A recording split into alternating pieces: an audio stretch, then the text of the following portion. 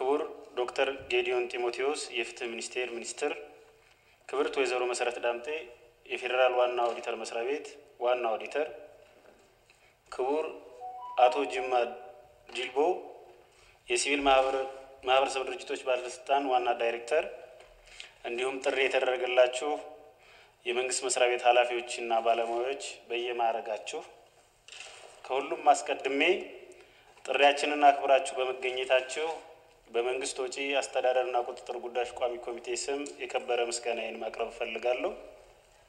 የኢፌዴሪ የሕዝብ ተወካዮች ምክር ቤት ስድስተኛ ዙር ሁለተኛ ዓመት የስራ ዘመን የመንግስት ወጪ አስተዳደርና ቁጥጥር ጉዳዮች ቋሚ ኮሚቴ የሲቪክ ማህበራት ድርጅቶች ባለስልጣን የ2013 በጀት ዓመት የሂሳብ ህጋዊነት ኦዲት ሪፖርት ላይ ለመወያየት የተጠራ ስብሰባ ነው።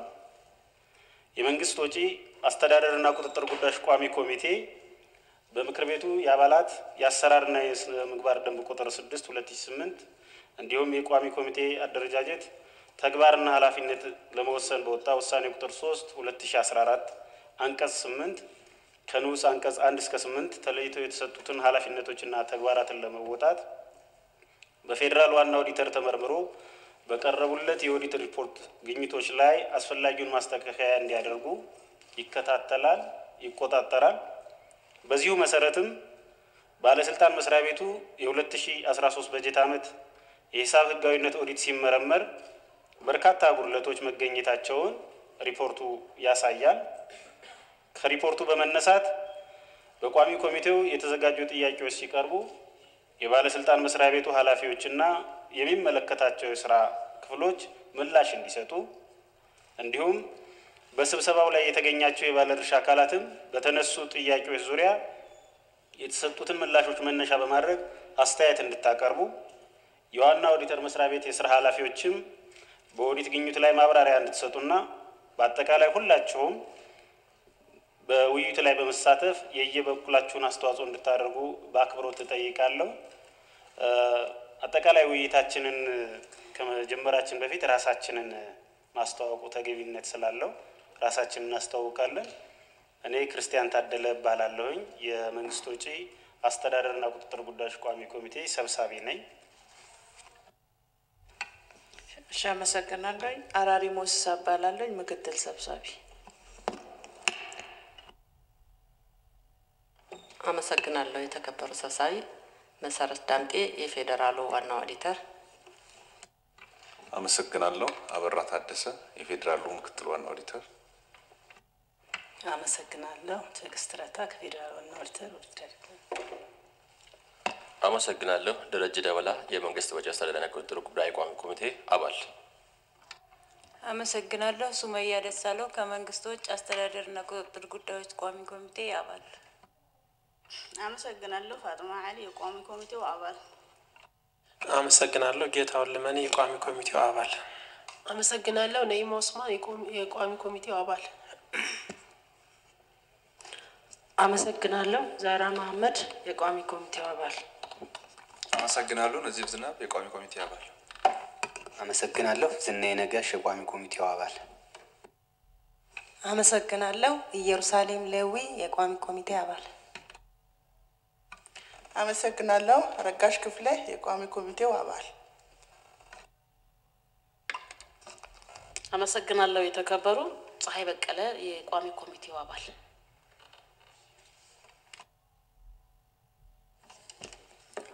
ጌዲዮን ጢሞቴዎስ ከፍትህ ሚኒስቴር።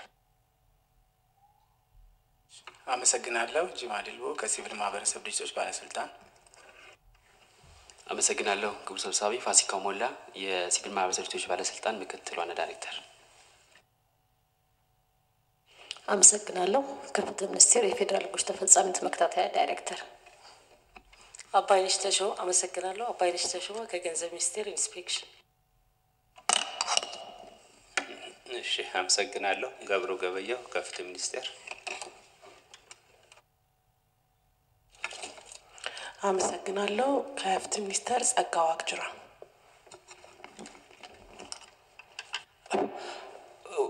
ከፌዴራል ስነ ምግባርና ጸረ ሙስና ኮሚሽን የሙስና መከላከል ጥናት ዳይሬክተር።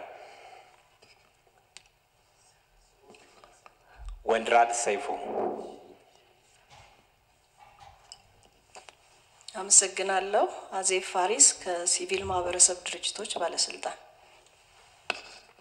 አመሰግናለሁ። በፍቃዱ ወልደሰንበት ከሲቪል ማህበረሰብ ድርጅቶች ባለስልጣን። አመሰግናለሁ። ደምሰው አለሙ የሲቪል ማህበረሰብ ድርጅቶች ባለስልጣን የፋይናንስና ግዢ ዳይሬክተር ስራ አስፈጻሚ ይቅርታ። አመሰግናለሁ ክቡር ሰብሳቢ። ቃል ኪዳን መንግስቴ ከሲቪል ማህበረሰብ ድርጅቶች ባለስልጣን። ሁላችሁንም በዚህ ውይይት ለመሳተፍ ስለመጣችሁ በድጋሜ በቋሚ ኮሚቴው ስም አመሰግናለሁ። በመቀጠል በቋሚ ኮሚቴችን የተዘጋጁ ጥያቄዎችን የተከበሩ ወይዘሪት ፋጥማ አሊ በንባብ እንዲያቀርቡልን እጋብዛለሁ። አመሰግናለሁ ክቡር ሰብሳቢ።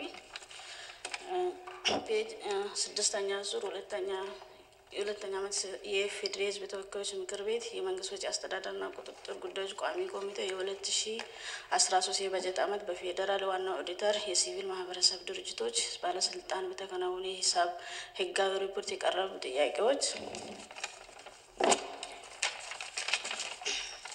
መግቢያ ስድስተኛ ዙር ሁለተኛ ሁለተኛ ዓመት የስራ ዘመን የኢፌዴሪ ህዝብ ተወካዮች ምክር ቤት የመንግስት ወጪ አስተዳደርና ቁጥጥር ጉዳዮች ቋሚ ኮሚቴ የምክር ቤት አሰራር አሰራርና የአባላት ስነ ምግባር ደንብ ቁጥር ስድስት ህዝባር ሁለት ሺ ስምንት እና የቋሚ ኮሚቴዎች አደራጀትና ተግባርና ኃላፊነት ውሳኔ ቁጥር ሶስት ህዝባር ሁለት ሺ አስራ ሁለት አንቀጽ ስምንት ንዑስ አንቀጽ ከአንድ እስከ ስምንት ተለይቶ በተሰጠው ኃላፊነትና ተግባርና ኃላፊነት መሰረት የሲቪል ማህበረሰብ ድርጅቶች ባለስልጣን ሁለት ሺ አስራ ሁለት አስራ ሶስት አመት የሂሳብ ህጋዊነት ሪፖርት መነሻ በማድረግ ይፋ የህዝብ ውይይት መድረክ መድረክ መነሻ በማድረግ መነሻ በማድረግ የሚቀርብ ጥያቄዎች እንደሚከተሉ አቀርባለሁ።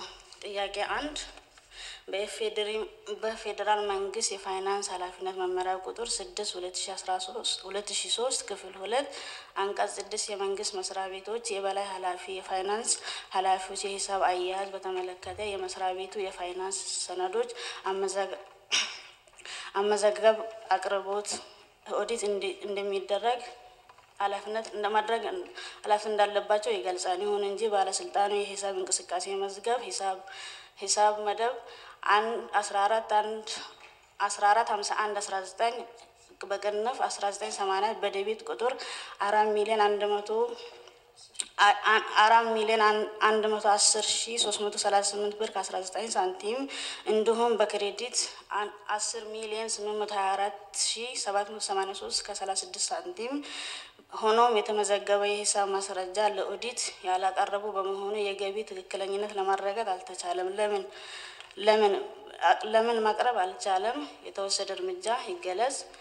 ሁለት ቁጥር የፌዴራል መንግስት የንብረት አስተዳደርና መመሪያ ቁጥር የቋሚ ንብረት ጨረታ መሸጫ ለማስወገድ የሚከናወኑ ዋና ተግባራት ብሎ ከተገለጹ የጨረታ ሰነዶችን በመዘጋጀት ጨረታ ማውጣትና መጫረት፣ የጨረታውን መገምገምና ለንብረት ሽያጭ በሽያጭ አጽዳቂ ቋሚ ኮሚቴ ሪፖርት ማቅረብ እንደሚገባ ይገልጻል። በተጨማሪ የፌዴራል መንግስት የፋይናንስ ኃላፊነት መመሪያ ቁጥር ስድስት ሁለት ሺ ሶስት ክፍል ሁለት አንቀጽ ስድስት የመንግስት ስድስት ሁለት አንቀጽ የመንግስት መስሪያ ቤት የበላይ ኃላፊ የፋይናንስ ኃላፊነቶች የሂሳብ አያያዝ በተመለከተ የመስሪያ ቤቱ የፋይናንስ ሰነዶች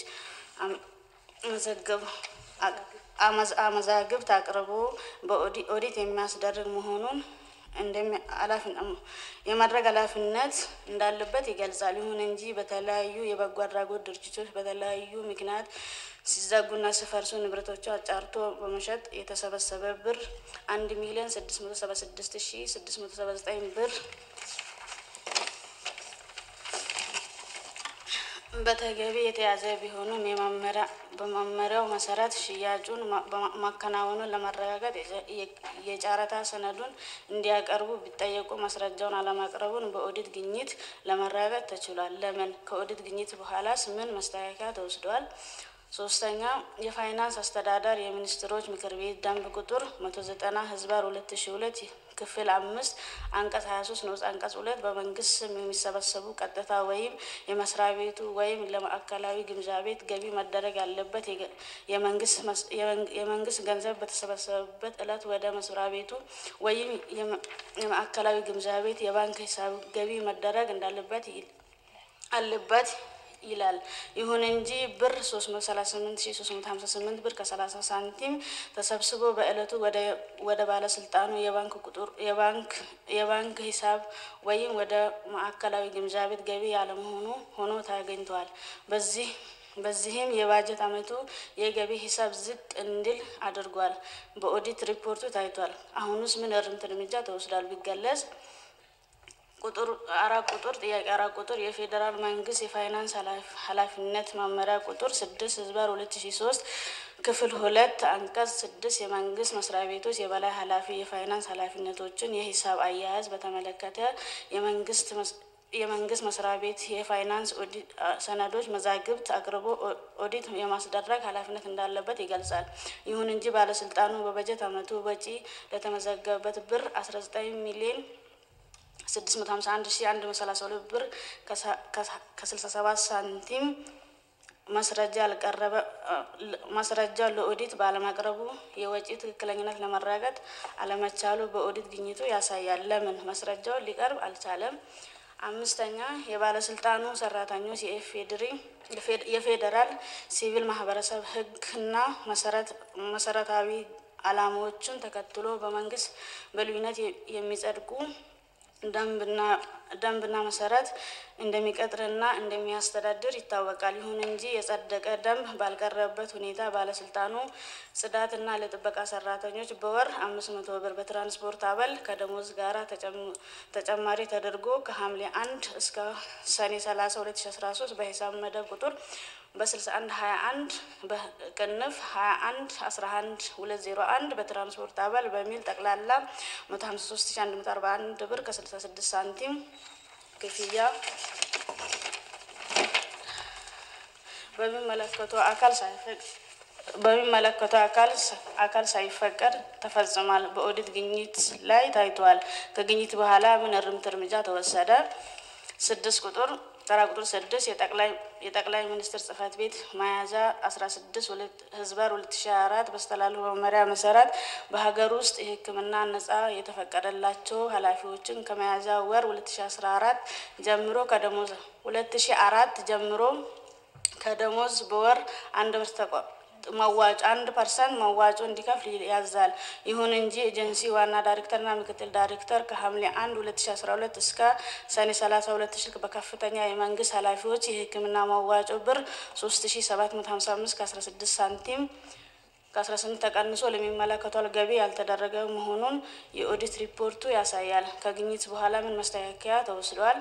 ሰባት የሚኒስትሮች ምክር ቤት ደንብ ቁጥር መቶ ዘጠና ህዝባር ሁለት ሺ ሁለት አንቀጽ ሶስት እንደዚህ ሰላሳ ሁለት እንዲሁም በፌዴራል የመንግስት መስሪያ ቤት የሂሳብ አያያዝ መመሪያ ቁጥር አራት ሁለት ሺ ሶስት መሰረት ለውሎ አባልና ለመጓጓዣ የተሰጠው ቅድመ ክፍያ ከስራ አጠናቆ ከተመለሰ በኋላ በሰባት ቀን መወራድ እንዳለበት ያዛል። ይሁን እንጂ ብር ሰላሳ አምስት ሺ አስራ ሰባት ብር ከኮድ አድቨርቲንግ ድርጅት የሚፈለገው ከአምስት ዓመት በላይ ያልተሰበሰበ መሆኑን በኦዲት ግኝት በኦዲት ሪፖርት ታይቷል። ለምን በወቅቱ አልተወራረደም? እስካሁን ምን እርምት እርምጃ ተወሰደ?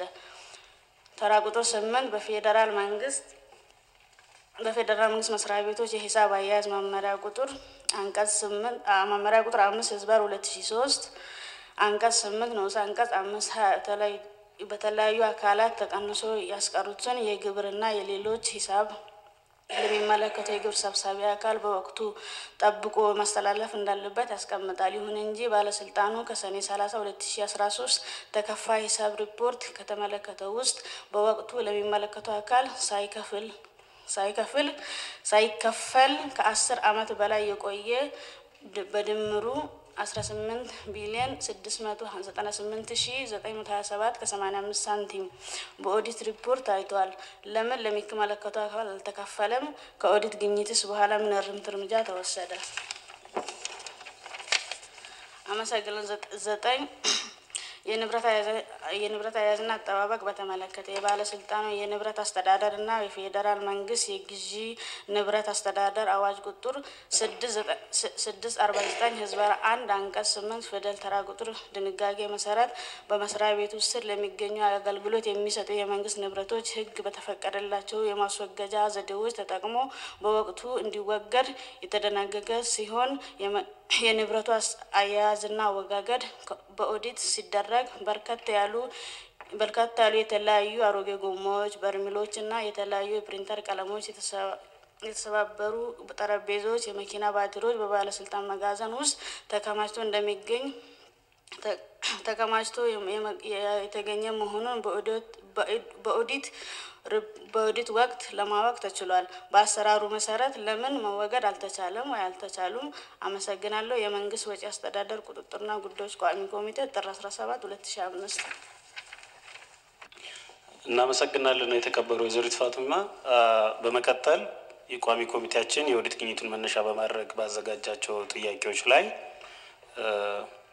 የሲቪል ማህበረሰብ ድርጅቶች ባለስልጣን ዋና ዳይሬክተር ወይ ከፍትህ ሚኒስቴር ሚኒስትሩ አስተያየት እንዲሰጡባቸው ጋብዛለሁ።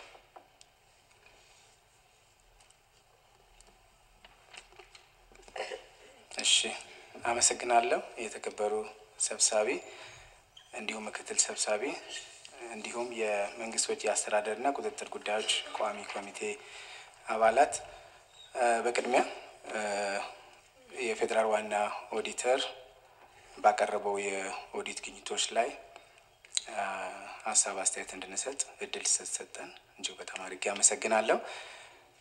ምናልባት በእያንዳንዱ ላይ ምላሽ ከመስጠት እንዲሁ context ለመስጠት ያህል የሲቪል ማህበረሰብ ድርጅቶች እንግዲህ በሀገራችን ልማትና በዴሞክራሲያዊ ስርዓት ግንባታ ውስጥ ትልቅ ሚና አላቸው በሚል መንግስት በተለይ ከሁለት ሺ አስር ጀምሮ በሀገራችን የተከሰተውን ለውጥ ተከትሎ ትልልቅ የሪፎርም ስራዎች ከተሰሩባቸው ሴክተሮችና የመንግስት ተቋማት መካከል የሲቪል ማህበረሰብ ድርጅቶች ባለስልጣን አንዱ ነው። ባለስልጣኑ ትልልቅ የሪፎርም ስራዎችን ሲሰራ ቆይቷል። በዚህም በተለይ በመንግስትና በሲቪል ማህበረሰብ ድርጅቶች መካከል የነበረው አሉታዊ የሆነው ግንኙነት አወንታዊ እንዲሆን፣ constructive እንዲሆን በርካታ የሪፎርም ስራዎች ሲሰሩ ነበረ። ከህግ ማሻሻያ ጀምሮ ተቋማዊ ሪፎርም በተመሳሳይ ሁኔታ በአሁኑ ጊዜም በርካታ የሲቪል ማህበረሰብ ድርጅቶች ተመዝግበው በሀገራችን ልማት ውስጥ ከፍተኛ አስተዋጽኦ በማበርከት ላይ ይገኛሉ። እንግዲህ የሪፎርሙ ምን ያህል አድካሚ እንደሆነ ሌት ተቀን መስራት እንደሚያስፈልግ የታወቀ ነው። እንደ አመራርም ከፍተኛ ትኩረት አድርገን ስንሰራ የነበረው በአዋጁ የተሰጠንን ስልጣንና ተግባር በአግባቡ ለመወጣት ነው። በዚህ ሂደትም ቅድም እንዳልኩት በርካታ ስኬቶች ተመዝግበዋል። አሁን የተገኙ የኦዲት ግኝቶችን በተመለከተ በእርግጥ አስቀድመንም ተጠርተን ብንጠየቅ ምላሽ የምንሰጥባቸው ነበሩ። አብዛኞቹ ምላሽ አግኝተዋል። በኋላ እመጣበታለሁ። ለጥቂት የ2013 ግኝቶች ደግሞ አብዛኞቹ ምላሽ ቢያገኙት ለተወሰኑት ደግሞ የ2013 ሂሳብ ከፍቶ ማየትና ችግሩ የት እንዳለ ማረጋገጥ ያስፈልጋል። ለዚህም ገንዘብ ሚኒስቴር ጋር እየሰራን ነው ያለ ነው። ሌላው ይሄ ችግር በአብዛኛው ተከሰቱ የተባሉ ችግሮች ከአቅም ማነስ ጋር የተያያዙ በተለይ ኢፍሚስን በሚገባ ካለመረዳት በስፍራ ላይ ተመድቦ ሲሰሩ የነበሩ ሰራተኛ የነበረባቸው የእውቀት ክፍተት የፈጠረው መሆኑን ተረድተናል። ኋላም አስፈላጊውን እርምጃ ወስደናል ማለት ነው። ወደ ተነሱት ወደ እያንዳንዱ ጥያቄዎች በተወሰነ መጠን የሄድበትና ምናልባት የቀሩ ነገሮች ካሉ ደግሞ የስራ ባልደረቦቼ በተመሳሳይ የሚሄዱበት ነው የሚሆነው። የተራ ቁጥር አንድ ላይ የተቀመጠውን በተመለከተ የማስረጃ ያልቀረበለት የአራት ነጥብ አንድ እና የአስር ነጥብ ስምንት ሚሊየን ገንዘብ ይሄ የ debit እና የ credit አመዘጋገብ ስህተት እንደሆነ ነው በእኛ በኩል የተረዳ ነው። ምክንያቱም በገቢ ላይ መነሻ ሂሳቡ ምንጊዜም በ debit መሆን ሲገባው credit ላይ ስለታየ የተዘጋው ሂሳብ ተከፍቶ እንዲታይ ለገንዘብ ሚኒስቴር ደብዳቤ ጽፈን ጠይቀናል። መልሱን እየተጠባበቅን ነው ያለ ነው ማለት ነው። ችግሩ የት ጋር እንደተገኘ ሂሳቡ እንደተከፈተ የሚታወቅ ነው የሚሆነው። ሁለተኛ ላይ አንድ ነጥብ ስድስት ሚሊየን የንብረት ሽያጭ ጋር በተያያዘ የተቀመጠውን በተመለከተ ይሄ already ተስተካክሏል ሙሉ ለሙሉ። ችግሩ የተፈጠረው የሲቪል ማህበረሰብ ድርጅቶች ንብረት በጨረታ ነው በእኛ ተቋም ውስጥ የሚሸጠው። የጨረታ ሰነዱ ግን በሁለት ኮፒ መዘጋጀት ሲገባው በአንድ ኮፒ ተዘጋጅተው በሲቪል ማህበረሰብ ድርጅቶች ንብረት አስተዳደር ዳይሬክቶሬት የሚባል አለ እዛ ስለተቀመጠ እና finance department ውስጥ መገኘት ስለነበረበት ባለመገኘቱ የተነሳ ነው እንደ ክፍተት የታየው። ይሄ ከዚህ በኋላ ማስተካከያ ተደርጎበታል። አሁን በሁለት ኮፒ ነው የሚዘጋጀው። አንዱ ኮፒ የሲቪል ማህበረሰብ ድርጅቶች ንብረት አስተዳደር ዳይሬክቶሬት ጋር ይሆናል። ሌላ ኮፒ ደግሞ የፋይናንስና ግዢ ዳይሬክቶሬት ጋር እየሆነ ነው እየተሰራ ያለው። በአሁኑ ጊዜ ሙሉ ለሙሉ ይሄ ችግር ተቀርፏል ማለት ነው። ሰነዱም ተገኝቷል። ሌላው ሶስተኛ ላይ የተጠቀሰው የ338 ሺህ ብር ተሰብስቦ በእለቱ ወደ ባንክ አልገባም የተባለውን በተመለከተ የተስተካክሏል። ከዚህ ሪፖርት በኋላ በየዕለቱ ትንሽም ቢሆን ገቢ እንዲደረጉ ተደርገዋል። ከዚህ በፊት ገቢ የማይደረግበት ምክንያት የሚሰበሰበው ገንዘብ ያው ከምዝገባ በጣም አነስተኛ ገንዘብ ስለሆነ በየቀኑ ወደ ባንክ ቤት ከመሄድ ሁለት ሶስት ቀን እየቆዩ ያስገቡ እንደነበረ ያንን ለመረዳት ችለናል። ይሄ እንዲስተካከል በተሰጠው አቅጣጫ መሰረት በየቀኑ አነስተኛ የሚሆን የበዛ ገንዘብ የተሰበሰበው ገንዘብ ሙሉ ለሙሉ ወደ ባንክ ገቢ እየተደረገ ነው ያለው ማለት ነው። ማስተካከያ የተደረገበት ነው። አራተኛ ላይ የተጠቀሰው የአስራ ዘጠኝ ሚሊየን ብር በተመለከተ ይሄ ተራ ቁጥር አንድ ነጥብ ስድስት በእኔ ማስታወሻ ላይ ያለው ከአስራ ዘጠኝ ሚሊየኑ አስራ ሁለት ነጥብ ዘጠኝ ሚሊየን already ምላሽ አግኝቷል። ለመዘርዘር ያህል አምስት ነጥብ ሁለት ሚሊየኑ ሰነድ ቀርቦለታል። ሁለት ነጥብ ስምንት ሚሊየኑ ደግሞ የተሰረዘ ወይንም cancel የተደረገ ነው። ሶስት ነጥብ ስምንት ሚሊየኑ ደግሞ ማስተካከያ ተሰርቶለት በ credit የተጣፋ ነው። ስለዚህ ቀሪው ስድስት ነጥብ ሰባት ሚሊየን አካባቢ ነው። ይሄ በሂሳብ ማስተካከል ወይም ደግሞ ገንዘብ ሚኒስቴር የ2013 በጀት ዓመትን ሂሳብ ሲከፍት ሊስተካከል ወይም ሊታረም የሚችል ነው። በእኛ እምነት የአመዘጋገብ ችግር እንጂ የተለየ ችግር ያለበት አለመሆኑ ነው የተረዳ ነው እና ገንዘብ ሚኒስቴርን ጠይቀናል። ሂሳቡ እንደተከፈተው ቅድም መነሻ ላይ በጠቀስኩት አይነት መልኩ ማስተካከያ የሚደረግበት ነው ማለት ነው። ቀጥሎ የተነሳው የባለስልጣኑ ሰራተኞች በተለይ የጽዳት ሰራተኞችና የጥበቃ ሰራተኞችን በተመለከተ ተጨማሪ አምስት መቶ ብር የትራንስፖርት አበል ተከፍሏቸዋል የሚል ነው። ይሄ አዲስ አይደለም። እኛም ወደዚህ ኃላፊነት ከመምጣታችን በፊት ሲሰራበት የነበረ ነው። በ management ውሳኔ ተሰጥቶበት እነኚህ የጽዳት ሰራተኞች በተለይ ሌሊት ተነስቶ ነው የሚወጡት። የትራንስፖርት አገልግሎት አያገኙም። ምክንያቱም ከሰራተኛ በፊት ቀድሞ ስለሚመጡ service መጠቀም አይችሉም። ከዚህ የተነሳ በተቋሙ ውስጥ ከዚህ በፊትም በነበረው አሰራር ክፍያ ይፈጸምላቸው ነበረ። እኛም ከመጣም በኋላ በ management ቀርቦ ውይይት ተደርጎበት የሰራተኞቹ ችግር ከግምት ውስጥ ገብቶ በዚህ አይነት መልኩ እንዲደጎሙ እየተደረገ ነው። ሌላው የተነሳው ይሄ እንኳን በዚህ አይነት መልኩ መቅረቡን እኛም ክፍተቱ መኖሩን notice አላረግንም። የከፍተኛ አመራር የሕክምና አንድ percent ወጪ የሶስት ሺ ሰባት መቶ ሀምሳ አምስት ብር የተባለው ክፍያ ተፈጽሟል። ከዛ ከግኝቱ በኋላ በስራው ላይ የነበሩ ሰዎች በአግባቡ መቁረጥ ነበረባቸው። በስህተት ሳይቆረጥ የቀረ ነው። ሕክምናውን እስካሁን አግኝተን እንኳን ባይሆንም ክፍያውን መክፈሉ ተገቢ ስለሆነ ሁለታችንም ታክመን አናውቅም። for that matter የሆነ ሆኖ ግን ክፍያው መከፈል አለበት የሚለው በመመሪያ ላይ ስላለ ክፍያው እንዲፈጸም ተደርጓል ማለት ነው። ተራ ቁጥር ሰባት ላይ የተቀመጠው የዚህ ሰላሳ አምስት ሺህ ብር በእርግጠኛም ወደዚህ ከመምጣታችን በፊት ወደ ሁለት ሺህ አምስት ዓመተ ምህረት አካባቢ ለማስታወቂያ ስራ አንድ ድርጅት ተቀጥሮ በአጋጣሚ ድርጅቱ ውል ከገባ በኋላ ስራውን ሳይፈጽም ገንዘቡን ይዞ ጠፍቷል። ፍርድ ቤትም ክስ ቀርቦበት ውሳኔ ያረፈበት ጉዳይ ነው። ነገር ግን የፍርድ አፈጻጸሙን ለማስፈጸም በአጋጣሚ ሰውየው ስላልተገኘ አልተቻለም። ስለዚህ write off እንዲደረግ ለገንዘብ ሚኒስቴር ጥያቄው ቀርቦ በሂደት ላይ ያለ ነው ማለት ነው። በጣም የቆየ ነው። በእኛ በኩል ያው write off ከማድረግ ውጭ ሌላ ምንም አማራጭ ስለሌለ ሰውየው ስላልተገኘ በዚህ ሂደት ላይ ነው ያለው ማለት ነው። የተራ ቁጥር ስምንት ላይ የአስራ ስምንት ሚሊየን በተመለከተ የአስራ ስምንት ሚሊየን የአደራ ገንዘብ ነው። በነገራችን ላይ ይሄ ገንዘብ ምናልባት context ለመስጠት ቋሚ ኮሚቴውን በደንብ እንዲረዳው ከዚህ በፊት አዋጅ ቁጥር 11 13 ከመውጣቱ በፊት ድርጅቶች ሀብታቸውን መሸጥ አይችሉም ነበር። በነባሩ አዋጅ ቁጥር 6 21 2001 በወጣው አዋጅ መሰረት የድርጅቶችን ንብረት ይሸጥ የነበረው ራሱ ኤጀንሲው ነው። ኤጀንሲው ድርጅቶችን ንብረት ከሸጠ በኋላ በተለያየ ምክንያት ንብረታቸውን ማስወገድ ሲፈልጉ ራሱ ከሸጠ በኋላ ገንዘቡን ወደ መንግስት ነው የሚያስገባው። F account የሚባል አለ ለዚሁ purpose የተዘጋጀ እዛ ውስጥ ገንዘቡ ከገባ በኋላ ድርጅቶች ገንዘቡን ሲፈልጉ ፕሮጀክት ቀርጸው እንዲያመጡ ይደረግና ፕሮጀክቱ ሲታመን ገንዘቡ እንዲለቀቅላቸው ይደረጋል።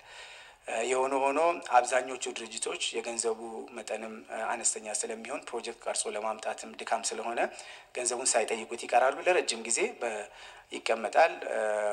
መንግስት treasury ውስጥ ነው በአሁኑ ጊዜ ገንዘቡ ያለው፣ እኛ ጋር አይደለም ያለው። already ወስዶታል ገንዘብ ሚኒስቴር ማለት ነው።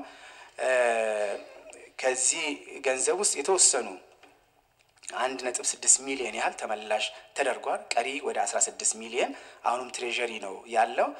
በእኛ በኩል ድርጅቶቹ እስካልጠየቁ ድረስ ገንዘቡን መስጠት የሚቻልበት አግባብ አይኖርም። ድርጅቶቹ ገንዘቡን እስካልጠየቁ ድረስ ደግሞ በመንግስት ካዝና ውስጥ ያለ ገንዘብ ነው። ስለዚህ ወይ ጥሪ አድርጎ መጥቶ ገንዘቡን የማይወስድ ድርጅት ካለ ገንዘቡ ወደ መንግስት ሙሉ ለሙሉ እንዲተላለፍ ማድረግ ይቻላል የሚል እምነት ነው በእኛ በኩል ያለው እና ስለዚህ በ2015 በጀት ዓመት ማስረጃዎችን በማሰባሰብ ገንዘቡ ከተከፋይነት ሂሳብ እንዲወጣ የሚደረግበትን አሰራር የምንከተል ነው የሚሆነው ማለት ነው። ያው treasury ውስጥ ያለ መሆኑን የተከበረ ቋሚ ኮሚቴ እንዲገነዘብልን እንፈልጋለን። መጨረሻ ላይ ከዚህ ከንብረት አያያዝ ጋር የተነሳውን ጉዳይ already ምላሽ ያገኘ ነው።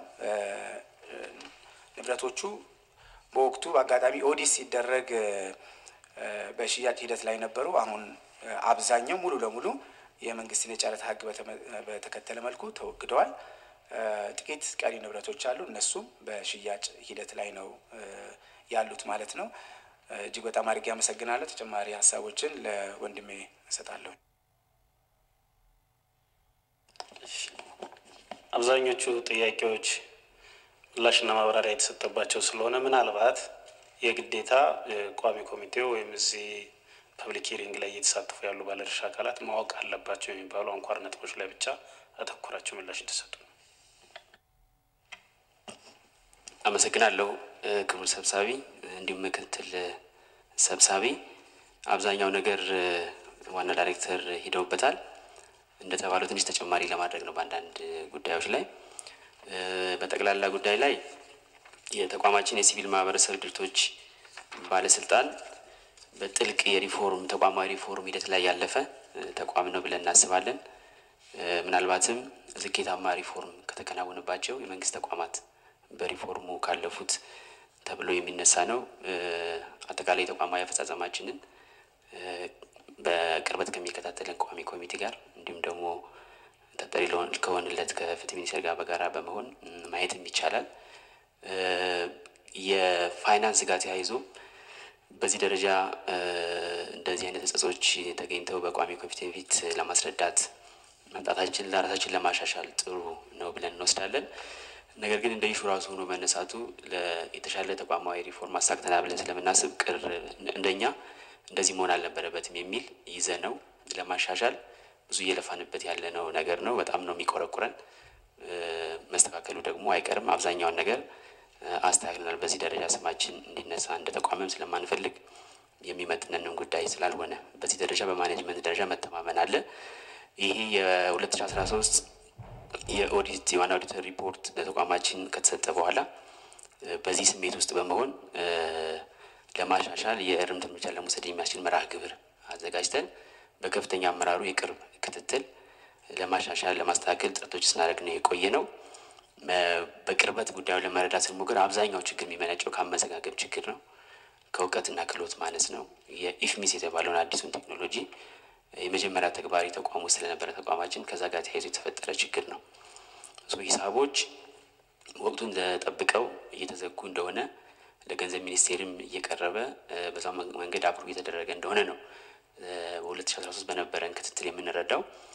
ግኝቱ ሲመጣ ግን debit ጋር መሆን ያለበት credit፣ credit ጋር መሆን ያለበት debit ጋር እንደዚህ የመሳሰሉ የአመዘጋገብ ችግሮች እንዳሉበት አይተናል። የውስጥ ኦዲትንም የተቋማችንን ጭምር በቅርበት በማሳተፍ ገንዘብ ሚኒስቴርም ጋር ዋና ኦዲተርም ጋር እንዲሁም ባለሙያዎች ጋር በመነጋገር ነው ለማስተካከል ጥረት ሲደረግ የቆየውና በዚህ ልክ በመውሰድ የምናስተካክለው እንደሆነ አብዛኛውን ለማረጋገጥ እንወዳለን።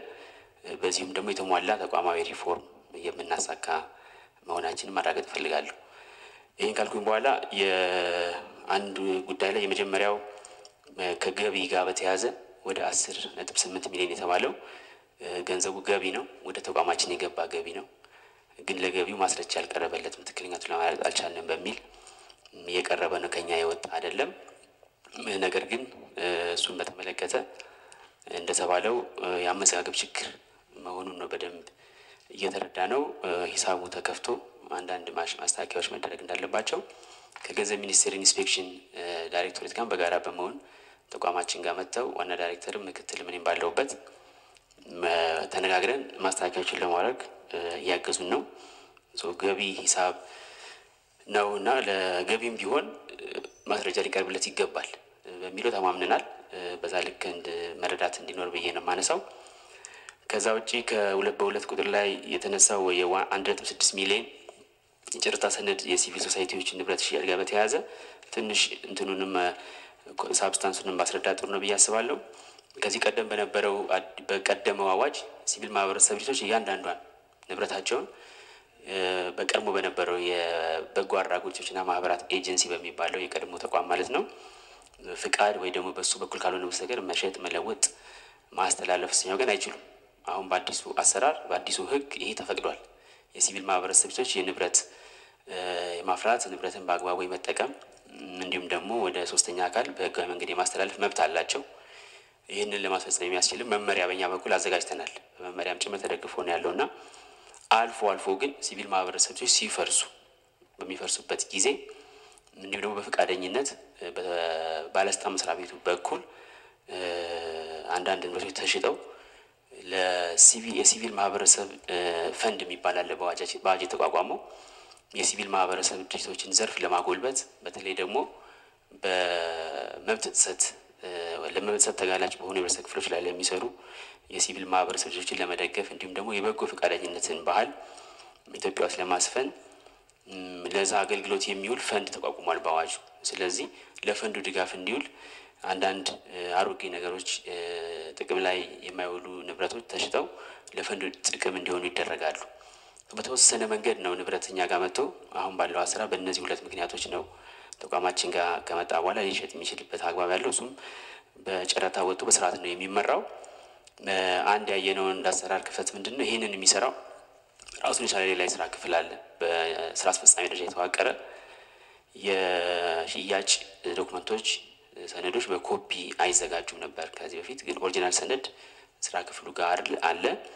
በከፍተኛ አመራሩ ውሳኔ ሰጭነት ባስቀመጥነው መመሪያ መሰረት የሚፈጸም ነው። ይህን comment ካገኘን በኋላ ሰነዱም ቀርቧል። እንደ አሰራርም ከዚህ በኋላ ማንኛውም በዚህ አይነት መንገድ የሚከናወኑ ጉዳዮች ለኦዲተር ለፋይናንስ ክፍል በኮፒ እንዲሰጡ በሚል ውሳኔ ወስነን አሰራር አስቀምጠን አሁን ሰነዶች ኦዲት ክፍልም የውስጥ ኦዲት እንዲሁም ደግሞ የፋይናንስ department ም ጋር እንዲሁም ይህን ስራ የሚሰራው የስራ ክፍል ጋር በኮፒ ሶስት ኮፒ ተዘጋጅተው የሚሰሩበት ሁኔታ እንደ አሰራርም የዘረጋን መሆኑን በዚሁ አጋጣሚ ማንሳት እፈልጋለሁ። የኦዲት አስተያየቱ ጠቅሞናል የተሻለ አሰራር ለመዘርጋት የሚለውንም stress ማድረግ እፈልጋለሁ። ሌላው በአራት ቁጥር ላይ የተነሳው ላይ ለመጨመር የምፈልገው የአስራ ዘጠኝ ነጥብ አምስት ስድስት ሚሊዮን የተባለው ይህንን የኦዲት ግኝቶቹን አንዳንዶቹ በቀላሉ ተስተካካይ ናቸው፣ አንዳንዶቹ ደግሞ ትንሽ ውይይት የሚያስፈልጋቸው ነበሩ። አንደኛው ይሄ ነው።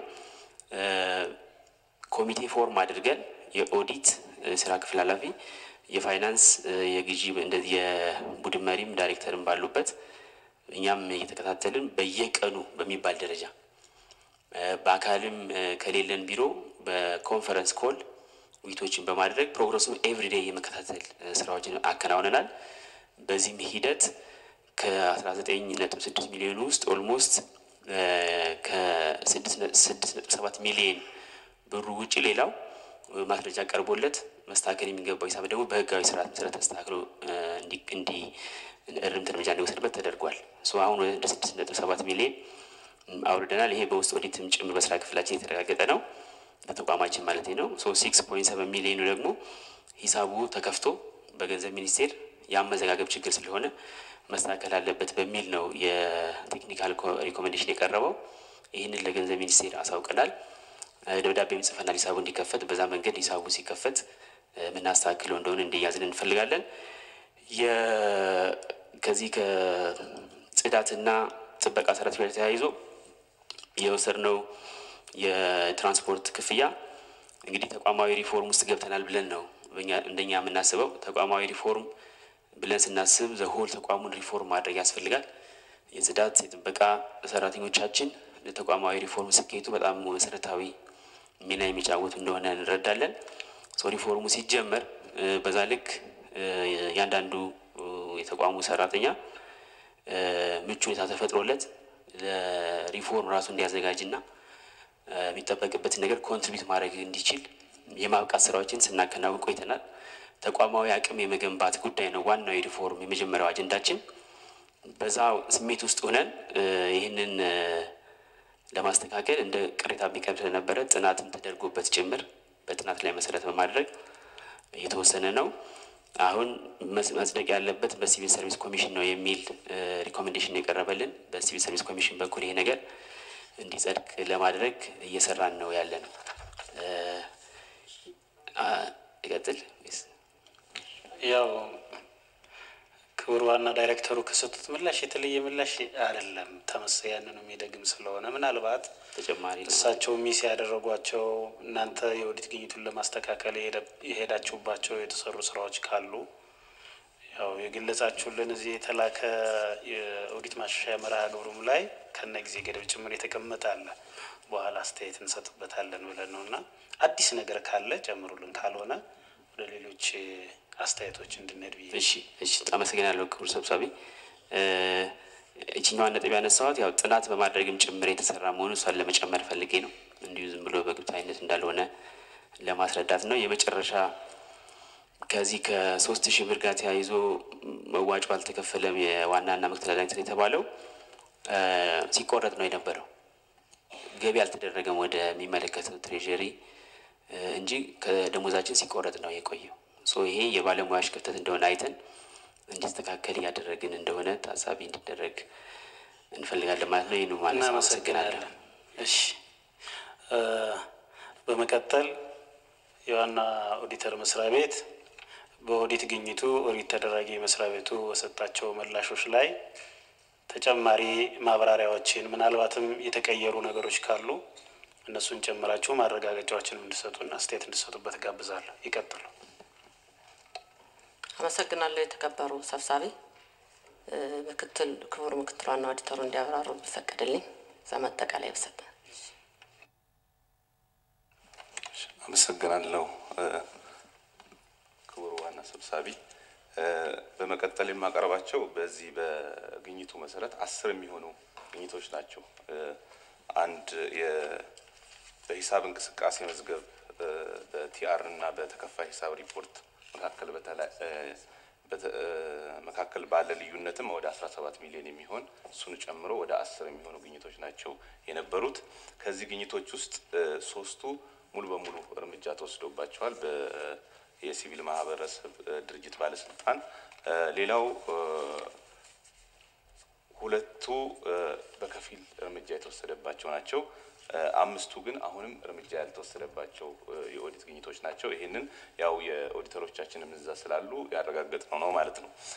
እርምጃ ከተወሰደባቸው ከምንላቸው አንደኛው የዚህ የተለያዩ የበጎ አድራጎት ድርጅት ድርጅቶች በተለያዩ ምክንያት ሲዘረጉና ሲዘጉና ሲፈርሱ ንብረቶች አጫርቶ በመሸጥ የተሰበሰበ ገቢ አንድ ነጥብ ስድስት የሚለው እሱ ላይ ሙሉ በሙሉ እርምጃ መወሰዱ ተረጋግጧል። ሌላው በእለቱ ተሰብስቦ መግባት የነበረበት 338 ሺ 358 ወደ ባንክ ሂሳብ የሚደረግበት የአሰራር ስርዓትም መሻሻሉን እንዲሁም ገንዘቡም ገቢ መሆኑ ተረጋግጧል።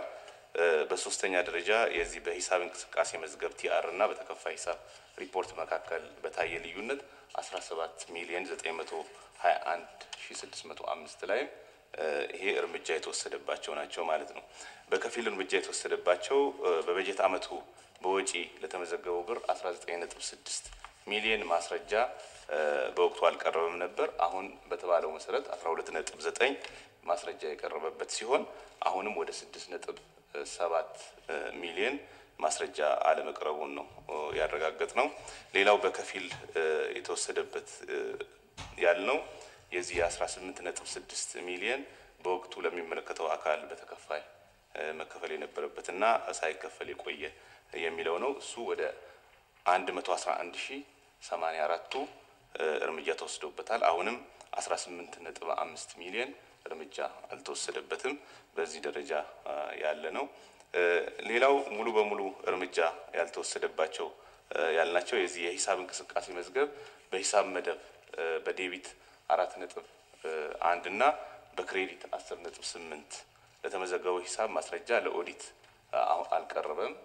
ይሄ በወቅቱም የተሰጠው ምላሽ ለገንዘብ ሚኒስቴር ተልኮ የአመዘጋገብ ሂደት እየጠበቀ ያለ ነው የሚል ነው። በ action plan ኡም የተያዘው በዚህ ደረጃ ነው። አሁንም በዚሁ ደረጃ ያለና እርምጃ ያልተወሰደበት ነው ማለት ነው። ሌላው በዚህ በበጀት እርምጃ ያልተወሰደበት የዚህ የሕክምና መዋጮን በሚመለከት ይሄም እርምጃ አልተወሰደበትም። በ3755 ብር 3755 ብር ገቢ አልተደረገም። ይሄ አሁን ኦዲተሮቹም እዛ ስላሉ ይሄንን ማረጋገጥ አልቻልንም።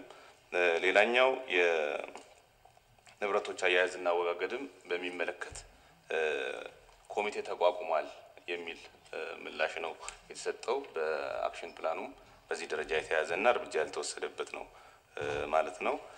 ሌላው ከዚህ ከከዶ አድቨርታይዚንግ ድርጅት ጋር የተያያዘ የሚፈለግ ከአምስት ዓመት በላይ ሳይሰበሰብ የቆየ ሰላሳ አምስት ሺ አስራ ሰባት ብር ይሄም በተሰብሳቢ የተያዘና ያልተወራረደና ተመላሽ ያልተደረገ ገንዘብ ወይም ያልተወራረደ ገንዘብ በመሆኑ ይህንንም እርምጃ ለመወሰዱን አረጋግጠናል። አምስተኛው የእርምጃ ያልተወሰደበት የጽዳት እና የጥበቃ ሰራተኞች ከመመሪያ ውጭ የተከፈለ የትራንስፖርት አበል 153141 ይህም እርምጃ አልተወሰደበትም። በሚመለከተው አካል መፈቀድ አለበት የሚል ማሻሻያ ሀሳብ ነበር የሰጠ ነው። በዚህ ደረጃ የሚታይ ነው። በአጠቃላይ ይሄ ነው ያለው status ማለት ነው። እናመሰግናለን ክቡር ምክትል ዋና ኦዲተር። በመቀጠል የመንግስት ወጪ የአስተዳደርና ቁጥጥር ጉዳዮች ቋሚ ኮሚቴ አባላት በኦዲት ተደራጊ መስሪያ ቤቱ በኦዲት ግኝቶች ላይ የተሰጡ ምላሾችን እንዲሁም የዋና ኦዲተርን ማብራሪያ ተከትሎ ቀጣይነት ያላቸው መብራራት የሚገባቸው ጉዳዮች ካሉ አስተያየቶችን፣ ጥያቄዎችን እንድታነሱ ጋብዛለሁ። የተከበሩ አቶ ጌታሁን አመሰግናለሁ ክቡር ሰብሳቢ። በሁለቱም በኩል የቀረቡ ጉዳዮች መልስ ሰጪዎችም ግልጽ አድርገው ነው ያቀረቡት። በዋና ኦዲተርም የተፈጸሙና ያልተፈጸሙ ጉዳዮችን ለማቅረብ ችለዋል። እንደኔ መልስ ሰጪ የሆኑ አካላት በደንብ የሰሩትና ያልሰሩትን ነገሮች ጠንቅቀው ሪፖርት ማቅረባቸውና ከኦዲት ሪፖርት በኋላ ለማስተካከል ያደርጉት ጥረት በበጎ ጎን የሚታይ ነው። ነገር ግን አሁንም ያላለቁ ነገሮች ስላሉ እነሱ ላይ በደንብ ይዘው ቀጣይ መስራት አለባቸው የሚል ሀሳብ ባለኝ ላይ ነው ማቀርበው። አንደኛው ሰባተኛ ተራ ቁጥር ላይ የተቀመጠው ጥያቄ ላይ የመንግስት አበል ላይ አበልና ለመጓጓዣ የተሰጠ የቅድሚያ ክፍያ መጀመሪያው ላይም አብልጠው ነው እንትን ያሉት ማለት ከግምት ውጭ አብልጠው መስጠታቸውና በኋላም እንደተመለሱ ማወራረድ አለመቻላቸው የመንግስትን ሰላሳ አምስት ሺህ ብር ገደማ እንዲታጣ ተደርጓል። ማለት በ write off ነው የዘጉት። በቃ መከፈል ማይችል ተብሎ ተደማድሟል፣ ተሰርዞላቸዋል ማለት ነው። ስለዚህ ይሄን ለቀጣይ እንደዛ አይነት ነገሮች መደገም የለባቸውም የሚል ሀሳብ ነው ያለ። ከዛ ውጭ ለሕክምና ወጪ የተከፈለው ነገር መመሪያው የሚፈቅድ ከሆነ ትክክል ነው፣ መመሪያው ፈቅዷል ተብሎ መረጋገጥ አለበት። ካልተረጋገጠ ደግሞ ብሩ መመለስ ነው ያለበት። ስለዚህ እዚህ ላይ የተወሰደ እርምጃ የለም ማለት ነው። ከዛ ውጭ ደግሞ አሁንም በአንደኛው ጥያቄ ላይ ስድስት ነጥብ ሰባት ማስረጃ ያልቀረበበት ገንዘብ ለምንድን ነው ከማስረጃ ውጭ የወጣ ይህ ገንዘብ? ስለዚህ ከማስረጃ ውጭ ከወጣ የሆነ ምንድን ነው የሚባለው በቃ ባንክራውሲ ውስጥ ገብቷል ማለት ነው። ስለዚህ ይህንን ገንዘብ መመለስ ነው ያለበት። ማስረጃ የሌለው ገንዘብ መመለስ ነው ያለበት። ስለዚህ ይሄ የሚመለስበት ሁኔታ መፈጠር አለበት። የሚከተል የሚመለከተው የፍትህ አካላትም ይህንን ማስረጃ ያልቀረበበት ገንዘብ ማስመለስ ነው ያለበት ማለት ነው። ከዛ ውጭ በስምንተኛው ተራ ቁጥር ጥያቄ ላይ የድርጅት የአደራ ገንዘብ ነው ገንዘባቸውን እስካልጠየቁን ድረስ ምንም ማድረግ አልቻልንም ነው የሚባለው። ስለዚህ ገንዘባቸውን የማይወስዱ ከሆነ ተጽፎላቸው ደብዳቤ ይህ ገንዘብ ለመንግስት ነው ገቢ መሆን ያለበት። በትሬዠሪ ውስጥ መቀመጥ አለመቀመጡ ፋይዳ ያለው መስሎ አልታየኝም እንደኔ። ጥቅም ላይ መዋል አለበት። ስለዚህ ይህንን የጊዜ ገደብም ህግ ሊኖረው ይገባል ወይም ይኖረዋል። በህግ መሰረት አይቶ ይህንን ገንዘብ ወደ መንግስት ገቢ ማድረግ ነው። ከአስር ዓመትና ከዛ በላይ ነው ተቀምጦ ያለና እሱም ደግሞ ጠቀም ያለ ገንዘብ ስለሆነ ይሄ ገንዘብ ስራ ላይ መዋል አለበት የሚል ሀሳብ አለኝ። አመሰግናለሁ። እናመሰግናለን። ሌላ የተከበሩ ወይዘሮ ፀሐይ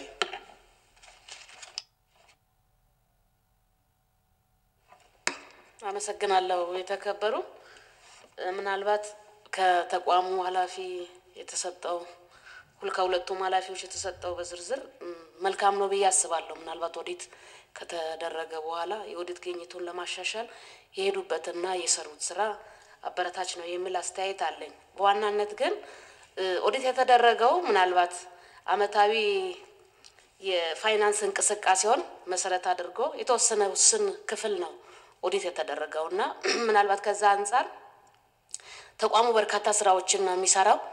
ግን ኦዲት የተደረገችው ያው ለናሙና የተደረገ ኦዲት ስራ ሆነ ምናልባት ከዛ አንጻር በደንብ ሙሉ ስራው በደንብ ብታይ በርካታ እንትኖች ሊኖሩ ይችላሉ እና ከዛ አንጻር እኔ አሁን እንደው እንደ እንትን በዋናነት ደንብና መመሪያን አዋጆችን በተከታታይነት የሚወጡ መመሪያዎችን ተከትለው አለመተግበር እንዳለ ይታየኛል። ሌላው ዘመናዊ የመረጃ አያያዝ ጋር ያሉ ክፍተቶችም እንዲሁ እንዳለ ይሰማኛል እና እነዚህን ክፍተቶችን በዋናነት ለመሙላት ግን አሁንም ተቋሙ ጠንክሮ መስራት እንዳለበት ትኩረት መስጠት እንዳለበት አንድ አስተያየት መስጠት ፈልጋለሁ። በዋናነት ግን እነዚህ በኦዲት እንደ ግኝት ሆነው የሚገኙ ግኝቶችን እንደ ፍትህ ሚኒስቴርም እንደ ገንዘብ ሚኒስቴርም እንደዚህ የሚሰሩ ስራዎች ክፍተት የተገኘባቸውን ግኝቶችን ለማሻሻል በዋናነት ከነሱ ጋር ሆነን ነው ይሄ ቋሚ ኮሚቴ ስራዎችን ሊሰራ የሚችለው እና አሁን ዛሬ የመጡ ምናልባት ዋና ሚኒስተሩም ስለመጡ እንደዚህ አይነት ክፍተቶችን በዋናነት ህጋዊ መሰረትን ይዘው እንዲሄዱ ህግና ደንብን ተከትለው እንዲሄዱ በዋናነት የምንሰራቸው ከነሱ ጋር ስለሆነ more የእቅድ አካል አድርገው እነዚህን ግኝቶችን አሁንም ቀጣይ ምናልባት የድርጊት መርሃ ግብር ልከዋል። እነዚህ የድርጊት መርሃ ግብሩ ላይ ያልተቋጩ ናቸው። አብዛኛው የተጀመሩ ስራዎች ግን ያልተቋጩ ስራዎች ስላሉ እነዚህን ስራዎችን አንዱ የእቅድ አካል አድርገው ግኝቱን በመሰረታዊነት ወደ ተግባር ይገባሉ የሚል እምነት አለኝ እና ምናልባት ይህንን አጠናክረው ከሰሩ ወደ ተሻለ አፈጻጸም ይኖራል የሚል አስተያየት አለኝ። አመሰግናለሁ። እናመሰግናለን። የተከበሩ ወይዘሮ ኢየሩሳሌም አመሰግናለሁ። የተከበሩ ሰብሳቢ፣ እንደተባለው ኦዲት ተደራጊ መስሪያ ቤት ከኦዲት ግኝቱ በኋላ የሄደባቸውን ርቀቶች ዘርዘር ባለመልኩ ለቋሚ ኮሚቴው ለማቅረብ የሞከረበትን አግባብ እያደነኩኝ፣ ነገር ግን ትኩረት የሚፈልጉ ጉዳዮች ላይ አሁንም አጽንኦት እንዲሰጥ ሀሳብ ለማንሳት ነው። አንደኛ ላይ ከአንደኛ ጥያቄ ብንነሳ ከአመዘጋገብ ችግር ጋር ተያይዞ ተብሎ የቀረበው ትኩረት የሚፈልግ እና ቀጣይ መስሪያ ቤቱ ራሱን በደንብ በዚህ ጉዳይ ላይ ማየት አለበት የሚል ሀሳብ አለኝ። አንደኛ ተራ ቁጥር ላይ ብቻ ሳይሆን ሌሎችም ላይ የገቢና የወጪ የተመዘገቡ ወጪዎች እና ገቢዎች ሰነድ የላቸውም ነው የሚለው። እንግዲህ በተቀመጠው የመንግስት መስሪያ ቤቶች ሂሳባቸውን በተገቢው ለኦዲት ሰነዶችን አቅርቦ ኦዲት ማስደረግ አለባቸው የሚል ነው ተጠቅሶ ያየ ነው እና ከተጠቀሰው አንጻር የሚፈለገውን ሰነድ ማስረጃዎች ኦዲተሮች በወቅቱ አላገኙም ነው። በአጠቃላይ በብዙ ግኝቶች ላይ ያየን ያለ ነው እና ይሄ ደግሞ ኦዲት የተፈቀደለት ወይም የተመደበለትን ጊዜ በወቅቱ የመስሪያ ቤቱን ተጨባጭ የሂሳብ አጠቃቀምና የበጀት አጠቃቀምን ምን ላይ እንዳለ ኦዲት አድርጎ ለሚመለከተው ከማቅረብ አንጻር ጊዜ የሚወስድና ጊዜ የሚያባክን ከመሆኑ ጋር ተያይዞ እርምጃ የተወሰደም ቢሆን እንኳን እንደዚህ አይነት አሰራሮችን ተጠያቂነትን ጭምር ማስከተል አለበት። ለምንድን ነው ወጪ የሆኑ በጀቶች ገቢ የሆኑ በጀቶች መረጃ የሌላቸው? እያስተዳደርን ያለ ነው የመንግስት በጀት ነውና ከዚህ አንጻር አሰራርን ተከትሎ መረጃዎችን፣ ሰነዶችን በአግባቡ አደራጅቶ ለመያዝ ለምንድን ነው ያልተፈለገው? እዚህ ውስጥስ ነፃ የሆነ አካል አለ ወይ? ምክንያቱም የአንዳንዱን ስራ ከነ ተጠያቂነት ነው የምንሰራው። ወጪ ስናደርግም ገቢ ስንቀበልም በምን አግባብ ነው የሚለውን መረጃዎችን አደራጅተው ለሚመለከተው የኦዲት ባለሙያም ሆነ ለሚመለከተው አካል ለኦዲት ብቻም ሳይሆን ሪፖርቶችም ሲሰሩ እነዚህ ነገሮች የሚያስፈልጉ ከመሆናቸው ጋር ተያይዞ ትኩረት ሊሰጥባቸው ይገባል። ሰነዱ ገና እየተፈለገ ነው ነው የሚባለው። ከየት ነው የሚፈለገው? ከኦዲት በኋላ እንዴት ከኋላ ሊመጣ ይችላል? ለምን ተደራጅቶ ሰነድ ውስጥ ሰነድ ክፍል ላይ ሊቀመጥ አልቻለም? የሚለውን መጠየቅ አስፈላጊ ነው ብዬ ስለማስብ ነው። እርምጃ የተወሰደባቸውም ይሁን ያልተወሰደባቸው በዚህ መልክ ትኩረት ተሰጥቶባቸው እነዚህ ሰነዶች በማንና እንዴት ተደራጅተው ሊቀመጡ እንዳልቻሉ በምን አግባብ እነዚህ ሰነዶች ሳይሟሉ ወጪዎች እንደወጡ ገቢዎችም ሲገቡ በሰነዶቹም በተሟላ አሟልቶ መቀበል ሲገባ አየር በአየር ተቀብለው ነው እንዴት ነው ይሄ ሊመጣ የቻለው የሚለው ጥያቄ የሚፈጥር ስለሆነ ነው። ሌላው ሶስተኛ ላይ በየቀኑ ተሰብስቦ ገቢ የሚደረገው ገንዘብን በተመለከተ ወደ 338 ሺ 358 ብር ከ38 የተቀመጠበት አግባብ አለ። በእርግጥ እርምጃ ተወስዷል የሚል ነው የቀረበው። ሲቀርብ የነበረው ምክንያቶች አሳማኝ አይደሉም። ምናልባት ዛሬም አሁን ሶስት ቀንና ሁለት ቀን ትንንሽ ስብሰባዎች ገንዘቦች ናቸው የሚሰበሰበው ነው የሚለው እና ዋና ዶክመንት ላይ ስናይ የሰኔ ወር አለ፣ የመስከረም ወር አለ፣ የሚያዝያ አለ ከወር እስከ ወር ብዙ ነው የተቀመጠው። ወሩን ሙሉ ደግሞ አመቱን ሙሉ መኪናዎች ፊልድ ስለሆኑ ነው የሚል ምላሽም ነበር ተሰጥቶ የነበረውና ይሄ ትኩረት ያለ መስጠት ችግር ነው ብዬ ነው እኔ በግሌ የምወስደው።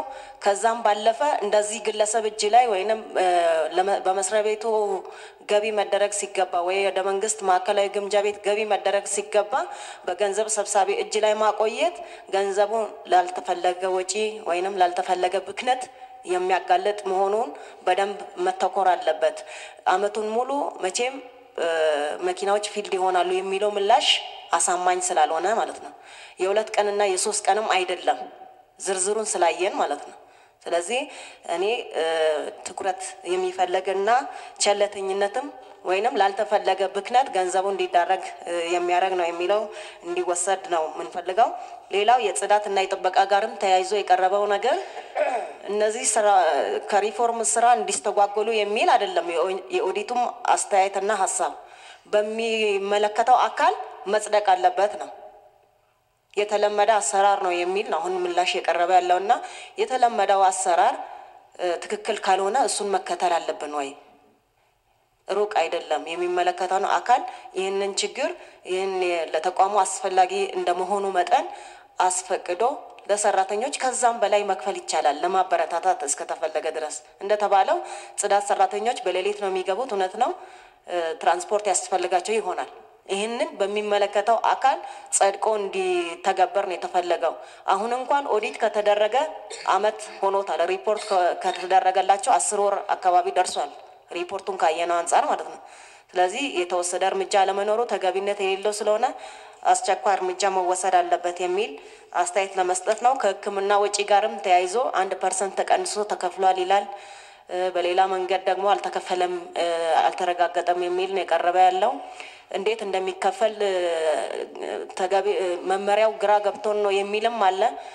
መመሪያው ስላልደረሰን ነው የሚልም መረጃ ነው ሲቀርብ የነበረው ዋናው ዶክመንትን ስንመለከትና ስለዚህ እዚህ ላይ ትኩረት ሰጥቶ እርምጃ መውሰዱ ተገቢነት ያለው ስለሆነ በዚህ መልክ በደንብ ቢታይ ለማለት ነው። አመሰግናለሁ።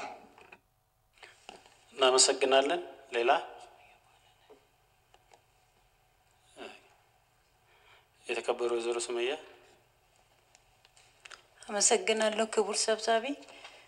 እኔም አጠቃላይ ዛሬ በነበረን session ተቋሙ ለኦዲት ግኝቱ ያለውን ትኩረት በሚያሳይ መልኩ ያቀረቡትን appreciate አደርጋለሁ።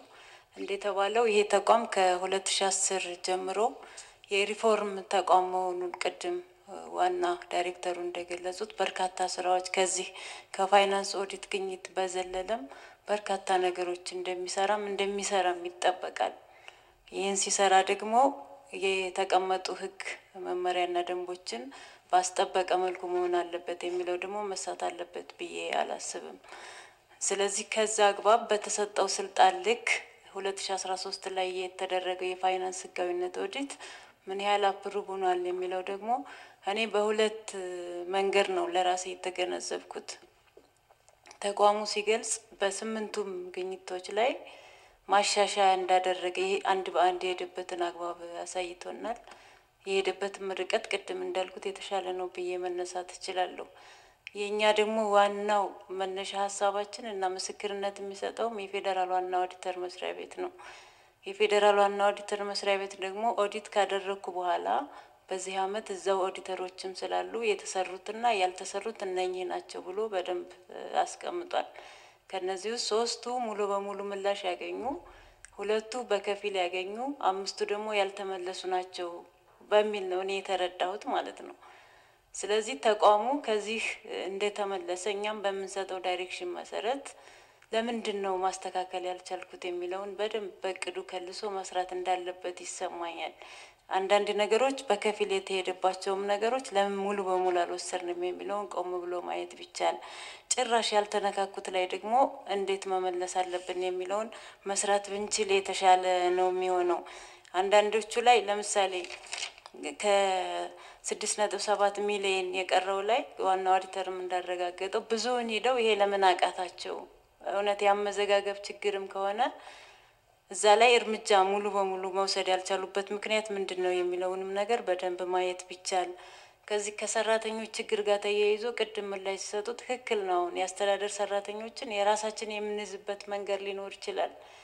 ግን ደግሞ ያኛው በሚመለከተው አካል አሰራር ሊበጅለት ይገባል ነው። ይሄ ትልቅ ግኝት ወይም ደግሞ ትልቅ ግድፈት ሆኖ አይደለም። ግን ደግሞ አሰራር ቅድም ከላይ እንዳልኩት በመመሪያው በሕጉ መሰረት መሆን አለበት የሚለውን እስከዛ ድረስ ሂዶ የማጣራት ወይም ደግሞ ሕግ የማበጀት ጉዳይ መስራት እንዳለብን እንዳለበት ይሰማኛል እና እዛ አካባቢ ያሉ ነገሮችን መስራት ቢቻል የተሻለ ነው የሚመስለኝ። ዋና ኦዲተርም አካባቢ ይህ አሁንስ በዚህ አመት የ follow up ኦዲቱ እየተሰራ ነው የሚለውንም ነገር በኋላ ምላሽ ቢሰጡበት። እንደ አጠቃላይ ግን የተጀመሩ ጅምሮች ጥሩ ሆነው ሳለ ግን ደግሞ ለይቶ ልክ እንደ ዋና ኦዲተር ሶስቱ በከፊል በሙሉና የቀሩ በሚለው አግባብ ተቋሙ ይዞ assignment ወስዶ መስራት ያለበት ነገር እንዳለ ይሰማኛል እና በዛ አግባብ assignment ተሰጣተን የተሻለ ስራ ቢሰራ የሚል ሀሳብ ለማንሳት ነው። አመሰግናለሁ። እናመሰግናለን። በመቀጠል ከህግና ፍትህ ቋሚ ኮሚቴ አስተያየት የምትሰጡት ካለ አስተያየት እንድሰጡ ጋብዛለሁ። ይቀጥሉ። የተከበሩ አመሰግናለሁ ክብር ሰብሳቢ ስለሰጡኝ እድል።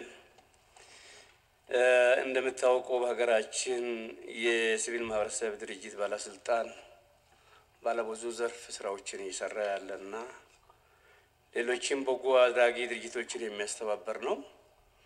አሁን ከሪፖርቱም እነሱም ከሰጡት ሀሳብ ከቤቱም የምንረዳው በሂሳብ ህግ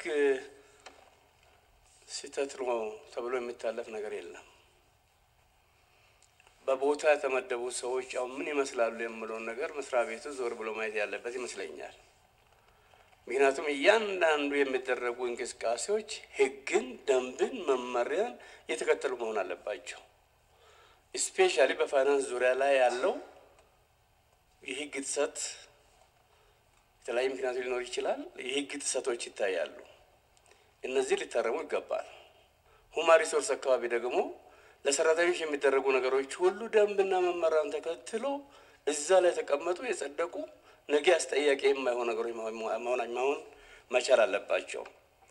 በንብረት አስተዳደርም በኩል ከዚህ ቀደም የነበረ መመሪያ ሌላ ነው፣ አሁን ያለው መመሪያ ደግሞ ሌላ ነው።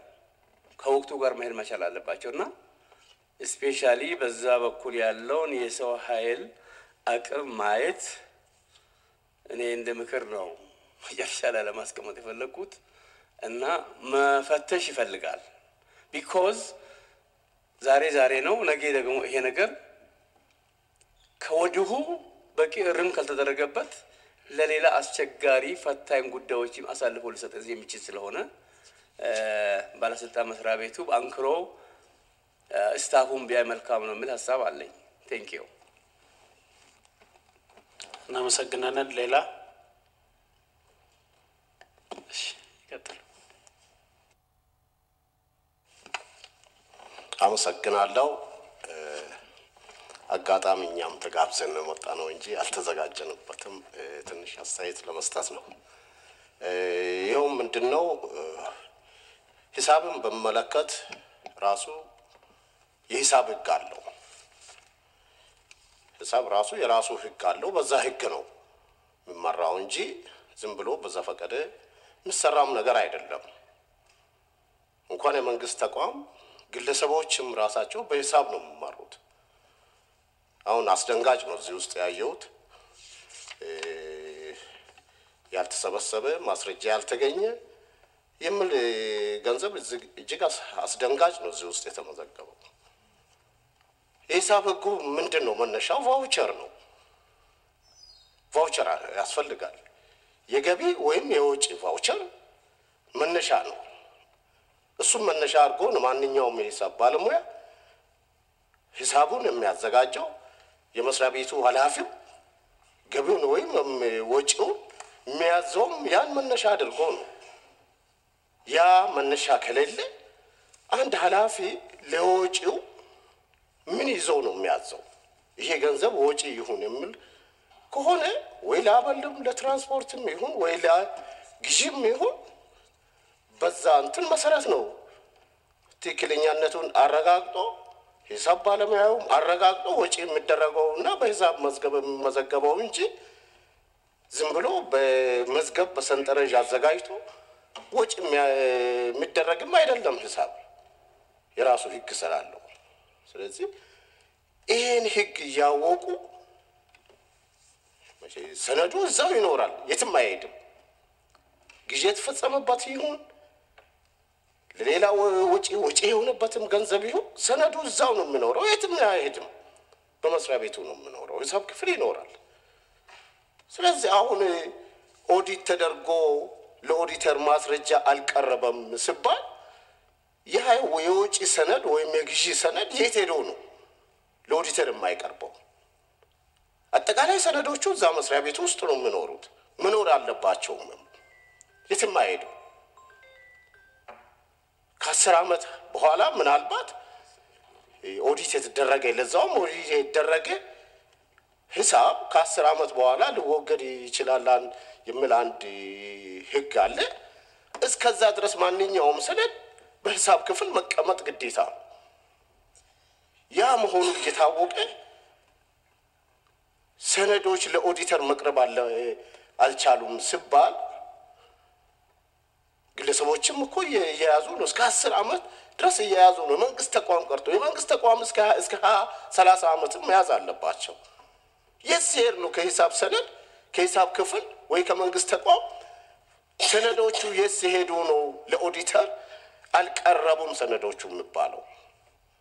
ስለዚህ ይሄ ነገር እንደዚህ የሚባለው አስተያየት ወይ ገንዘቡ አላግባብ ወጪ ሆኖ ማስረጃ ማቅረብ አልተቻለም ይሆናል እንጂ ሰነድ መቅረብ ኃላፊውም ኦዲት ማስደረግ ሰነዶቹን ማስቀረብ እና ኦዲት ማስደረግ ግዴታው ነው አንድ ኃላፊ።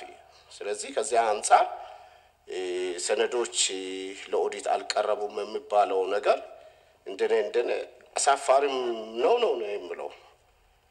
ስለዚህ ይሄ የቀረበው አስተያየት በሰነዶች ዙሪያ ተገቢ ማጣሪያ አሁን መደረግ አለበት፣ መቅረብ አለባቸው። የመንግስት ሰነድ ሰነዶች ናቸው፣ መቅረብ አለባቸው። ኃላፊዎችም ኦዲት ማስደረግ አለባቸው ነው የሚለው። አመሰግናለሁ። እናመሰግናለን። በመቀጠል አስተያየት ማይኖር ከሆነ ከህግና ፍትህ ቋሚ ኮሚቴ ወደ ኦዲት ባለድርሻ አካላት አስተያየት እንዲሰጡ እጋብዛለሁ። እንግዲህ በተደጋጋሚ ጊዜ ስትጠሩ ስለነበረ ገንዘብ ሚኒስቴር write off እንዳያደርግ እንትን ብለናል። ገንዘብ ሚኒስቴር የ IFMIS ሪፖርት እንዲያመጣ በጀት ተዘንትን እንዲከፍትልን system ኡን ተዘግቶብን የሚል ምላሽ ሲሰጥ ስለነበረ በተለይ ደግሞ ዝርዝር የኦዲት ሪፖርቱን ዋናውን ሰነድ ታዩታላችሁ ብለን ስለምናምን እንደ inspection ክፍል ወይዘሮ አባይነሽ በቀረቡ የኦዲት ግኝቶች የሰጡ ምላሾችና ማብራሪያዎች ላይ የቀረቡ ጥያቄዎች ላይ እናንተ መወጣት ካለባችሁ ኃላፊነቶች አንጻርም አስተያየት እንድሰጡ ጋብዛለሁ። አመሰግናለሁ። በተነሱት ላይ ለማንሳት ነው። አንደኛ የገቢ ሂሳብን አስመልክቶ ገንዘብ ሚኒስቴር በተደጋጋሚ እነሱም ገንዘብ ሚኒስቴር እየተባለ ተነስቷል። ያው ቋሚ የሂሳብ መደቦችን ማስተካከል ሊቻል ይችላል። ይሄ temporary account ኦች የተዘጉትን ግን ከፍቶ ለማስተካከል ትንሽ የሚያስቸግር ይመስላል። ግን እኛም አንዱ ተቀባይነት የሚያሳጣ adverse ና disclaimer የምክር ቤት አባልም ያነሱታል። ለምንድን ነው ክትትሉ የሚል እሱንም አያይዤ እነሱን መርሃ ግብር አዘጋጅተን እኛም ክትትል እናደርግባቸዋለን። ክትትል ካደረግንባቸው ተቋምም አንዱ የሲቪክ ማህበራት ባለስልጣን ነው። ስለዚህ ህዳር ሀያ ሁለት ሺ አስራ አምስትም ክትትል ያደረግነውና እርምጃ የወሰዱባቸው ያልወሰዱባቸውንም በመግለጽ ያልተወሰደባቸውንም ከማን ጋር ማስተካከል እንዳለባቸውም ዝርዝር ክትትል ያደረግንባቸውንም የላክንበት አግባብ አለ። ስለዚህ ይሄ የተከፋይ ሂሳብ ሰላሳ አምስት ሽን በተመለከተም ያው እዚህ የተሰጠን ምላሽ ላይ በፍርድ ቤት ውሳኔ እንደተሰጠው ነው። እዛ ድረስ ሄዶ ከሆነ ያው ለ write off አሁንም አንድ ጊዜ ገንዘብ ሚኒስቴር ደብዳቤ ጽፎ መቀመጥ ሳይሆን ናው ጊዜን ክትትል ማድረግና ማስፈጸም ያለባቸው ስለሆነ የነሱ ስራ ስለሆነ ያንን ማድረግ አለባቸው የሚለው ነው። ከዚህ ከሕክምና ጋር ተያይዞ ደግሞ የተነሳውን እንግዲህ የውጭ ሀገር ሲሆን አንድ percent የሀገር ውስጥ ሁለት percent ይላል። የት መግባት አለበት የሚለውም መመሪያ ያለ ስለሆነ እሱ መመሪያው ከሌላቸው እንሰጣቸዋለን። እሱ ግን ገቢ እንዳልተደረገ እኛም አሁን ሀያ ወር አልሞላውም ክትትሉን አድርገን ምን ማድረግ እንዳለባቸውም ግብረ መልሱም ሰጥተናል። ስለዚህ እሱም አክሽን ያልተወሰደበትን እንዳልተወሰደበት ለመግለጽ የምፈልገው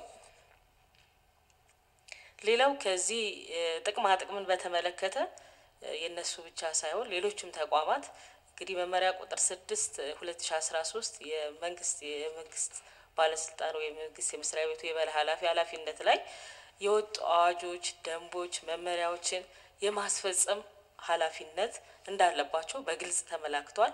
ስለዚህ ከዛ አንጻር እነዛ ሳይሸራረፉ ስራ ላይ መሆናቸውን የማረጋገጥ ኃላፊነት እንጂ management ኡ ያ ሲባል management ኡ አይወሰነው ማለት አይደለም። ግን በሚመለከተው አካል ስልጣን የተሰጠውን ደግሞ ማስወሰንና ለምሳሌ ይሄ ስልጣን የሲቪል ሰርቪስ ኮሚሽን ነው ጥቅማ ጥቅም። ስለዚህ በዛ አስፈቅደው መጠቀም እንጂ በራሳቸው በ management ወስነው ማስፈጸም አይችሉም። በእኛም ክትትል ግን ይሄ እርምጃ ያልተወሰደበትና አሁንም ያለ መሆኑን የተረጋገጠ ስለሆነ እነሱ ብቻ ሳይሆኑ ሌሎችም ተቋማት እንዲህ አይነት መሰል ያለ ግን ምንድን complain የሚያደርጉት እናንተም ብታዩት ብዬ ወስደው ተቋማት ለሲቪል ሰርቪስ ስንልክ አይወስንልንም፣ ሁለት ሶስት ጊዜ ደብዳቤ ጽፈናል የሚሉ ተቋማትም አሉ። ስለዚህ ይህን አስፈላጊ ነው፣ ልክ ነው ተብሎ ከታመነበት ውሳኔ እንዲያገኝ በእናንተ በኩል ግፊት ቢደረግ የሚለውን መግለጽ ነው የምፈልገው።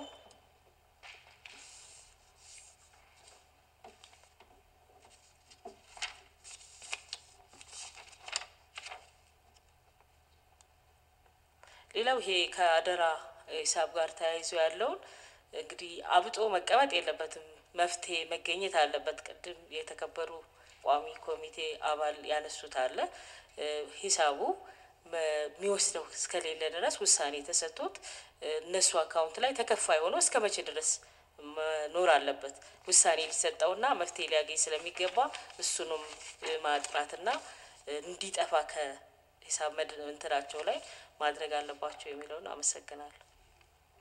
ከመጨረሰው በፊት አሁን እነዚህ የኦዲት ግኝቶች እንዲስተካከሉ እናንተ እንደ የፋይናንስ ሕጎችን ተፈጻሚነት እንደሚቆጣጠር አስፈጻሚ አካል partly መቆጣጠር ኃላፊነት ስላለባችሁ ምን ሰራችሁ እናንተ? ለምሳሌ ይህን ያህል ገንዘብ ተከማችቶ እዛ ሲቀመጥ በተለይ በተደጋጋሚ ጊዜ ሲነሳ የነበረው integrated financial management information system IFMIS የሚባለው እሱ ላይ የባለሙያ ክፍተት የሂሳብ ማመዘጋገብ ችግር አለ ምናምን ተብሎ የዚህ የሲቪል ማህበራት ድርጅቶች ባለስልጣን ብቻ ሳይሆን በርካታ መስሪያ ቤቶች ተመሳሳይ እንትን ያነሳሉ እና ይህንን የማብቃት ኃላፊነት በዋናነት የገንዘብ ሚኒስቴር ነው። እነዚህ መሰል የአመዘጋገብ የሙያ ብቃት ሳይኖራቸው የፋይናንስ ባለሙያዎች እንደዚህ አመዘጋገብ ችግር እየፈጠሩ እስከ መቼ ነው የኦዲት ግኝት ነው የሚቀጥለው?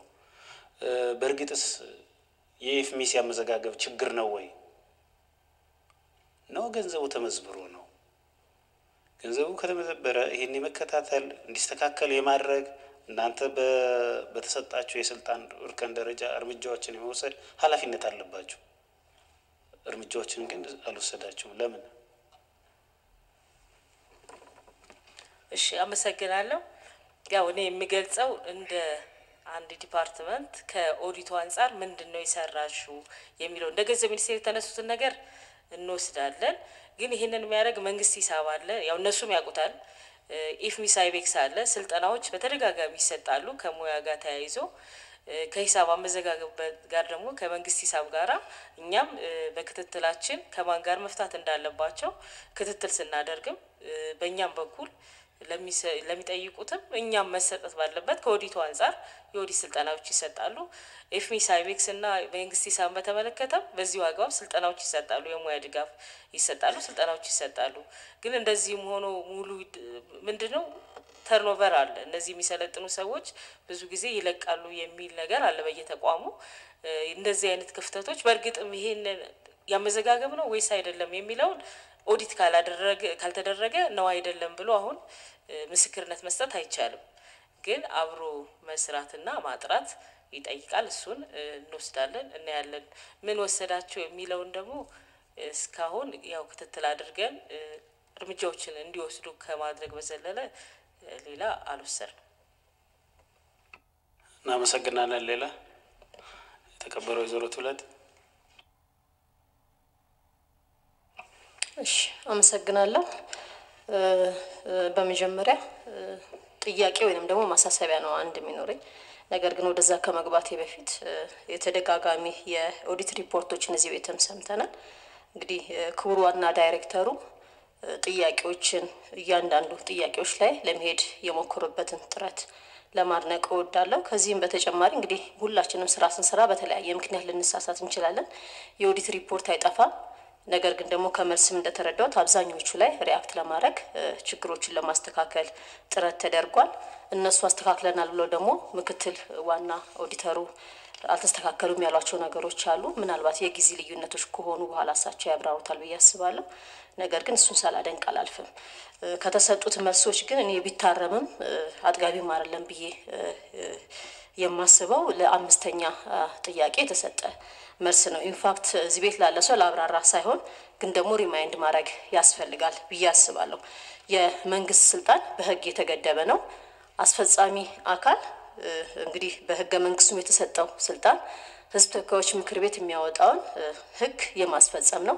በልዩ ሁኔታ ግን መብትን እንዲፈጠር ወይንም ጥቅም እንዲፈጠር ውክልና ከተሰጡ ያንን ያደርጋል። አሁን በቀረበው ሁኔታ በልዩ ሁኔታ ለሰራተኞቻቸው ጥቅማ ጥቅም የመወሰን ስልጣን የተሰጠው ለሚኒስትሮች ምክር ቤት ነው በደንብ እንዲወሰን so በማኔጅመንትም ቢሆን በጥናትም ቢሆን ርቀቱ ተገቢ ነው ብዬ ስለማላስብ ነው justify ለመደረግ የተሞከረበት። በህግ የተሰጠው ስልጣን የለም። by the way እንዲህ አይነት ነገሮች የዜጎች የእኩልነት ጥያቄም ሊያስነሳ ይችላል። ተመሳሳይ situation ላይ ያሉ ሌሎች ተቋማት ላይ በጽዳት የሚሰሩ ተመሳሳይ በቂ ያልሆነ ክፍያ የሚከፈላቸው ግን በህግ ስልጣን ስላልተሰጣቸው ተቋማት ምንም ሊያ- ሊያደርጉላቸው ያልቻሉ ያሉ መሆኑ ታሳቢ ቢደረግና ይህን ውሳኔ ማኔጅመንቱ ሲሰጥ ሲወስን ይህንን ውሳኔ መወሰን ስልጣን አለኝ ወይ ብሎ ጠይቋል ወይ የሚለው ላይ ማብራሪያ ቢሰጥበት ወይንም ደግሞ ችግሩ እንደ ችግር ወስዶ ወደፊት ለማረም ጥረት ቢደረግ የሚለውን ሀሳብ ለመስጠት ነው። አመሰግናለሁ። እናመሰግናለን። ሌላ እሺ፣ ይቀጥል።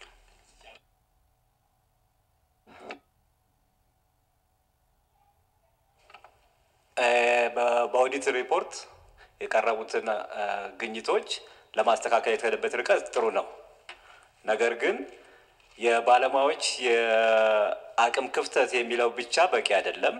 ይኸውም የኃላፊዎችም በስራዎች ላይ የሚደረገው የክትትልና የቁጥጥር ክፍተቶች እታች ያለውን ስራ ጥሩ ወይም መጥፎ ሊያደርጉት ስለሚችል እዛ ላይም ክፍተት ይታያል። አሁን እዚህ ላይ የተስተዋሉት የአሰራር ክፍተቶች ለሙስና ስጋት ሊሆኑ የሚችሉ በመሆናቸው በኦዲት ግኝቱ የተ- የተ- የተ- የተ- የተተዳሰሱትን ጨምሮ ሌሎችንም አሰራሮች ለሙስና እንዳይጋለጡ ተቋማዊ የሙስና መከላከል ስትራቴጂ በመዘርጋት ከወዲሁ አሰራሮች ለብልሹ አሰራር እንዳይጋለጡ የማድረግ ስራ ሊሰራ ይገባል። እነኚህ አሁን በኦዲት የታዩት ግኝቶች አመላካች ናቸው። ምናልባት በኦዲት ያልተፈተሹ ሌሎችም የአሰራር ክፍተቶች ሊኖሩ ስለሚችሉ ከወዲሁ ሊታረም ይገባል የሚል አስተያየት ይኖረኛል። አመሰግናለሁ። እናመሰግናለን። አስራ አምስት ደቂቃ የሻይ ረፍት ወጥተን እንመለሳለን። መልካም የሻይ ረፍት።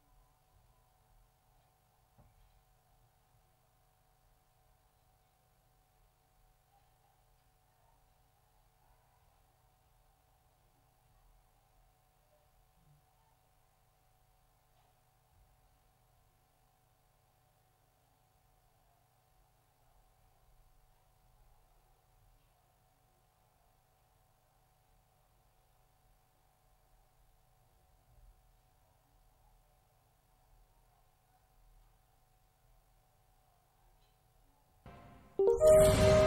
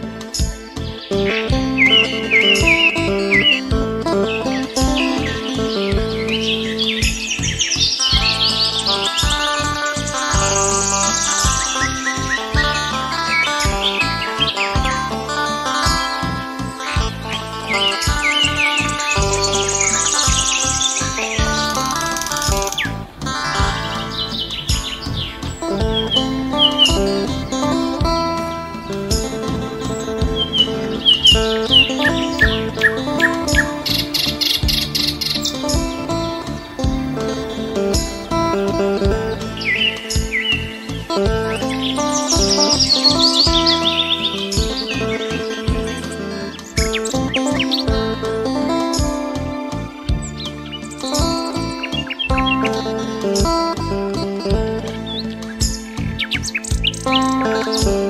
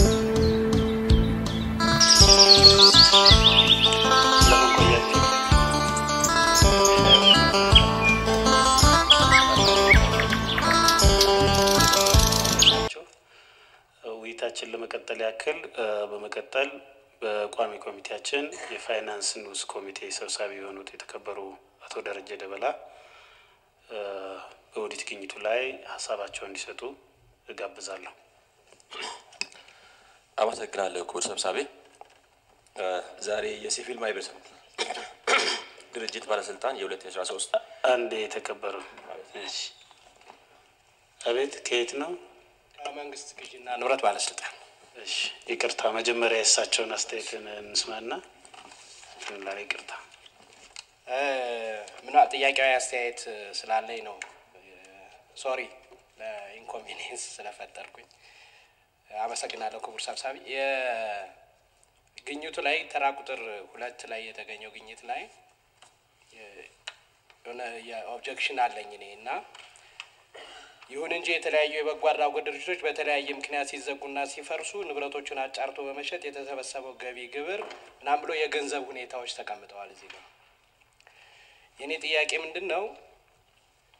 ሲፈርሱም ሆነ ሲዘጉ ከገንዘቡ ጋር ብቻ ሳይሆን ንብረቱን የመሸጥ የመለወጥ ወይም ደግሞ አጫርቶ የመሸጥ ስልጣን ለሲቪል ማህበረሰብ ድርጅት ባለስልጣን ተሰጥቶት ነበር ወይ?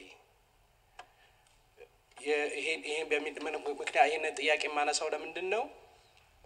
ራሱን የቻለ transaction cost አለው መሸጥ መለወጥ ምናምን የምንለው ማለት ነው። ከመንግስት በጀት አውጥተን ነው transaction cost ኡን cover የምናደርገው።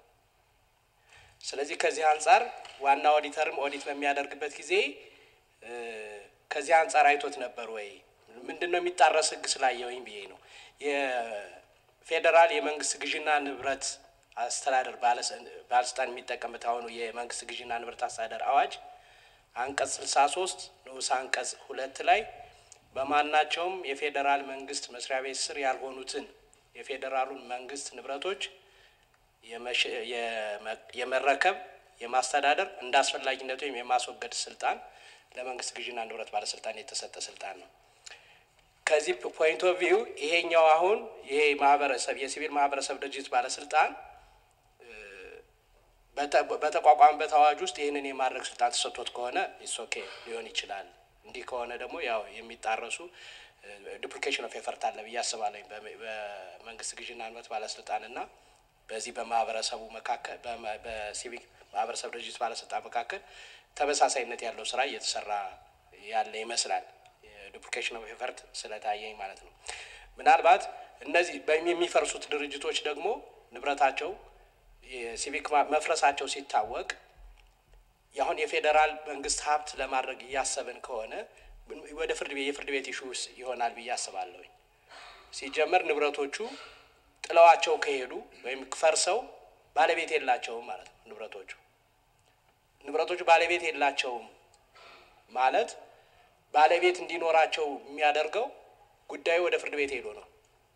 in principle ወደ ፍርድ ቤት ሄዶ ፍርድ ቤቱ የመንግስት ይውረስ ባለቤት የለውም ካለ ፍርድ ቤቱ መንግስት ይወርሳል። መንግስት የሚወርስ ከሆነ ደግሞ የፌዴራል የመንግስት ግዥና ንብረት ባለስልጣን ንብረቱን የሚረከብበት የሚያስተዳድርበትና እንደ አስፈላጊነቱ የሚያስወግድበት አሰራር አለ። ስለዚህ ምናልባት ሁለቱ ላይ አስተያየት ሲሰጡበት በጋራ እንዲያዩት ብዬ ነው። አመሰግናለሁ። ታንክ እናመሰግናለን። ጠቃሚ አስተያየት ነው። የተከበሩ አቶ ደረጃ ይቀጥሉ። እሺ፣ በድጋሚ አመሰግናለሁ። የሲቪል ማህበረሰብ ድርጅቶች ባለስልጣን የ2013 ባጀት ዓመት በፌዴራል ዋና ኦዲተር የተከናወነው የሂሳብ ኦዲት ሪፖርት መነሻ በማድረግ ዛሬ እያየን ያለ ነው።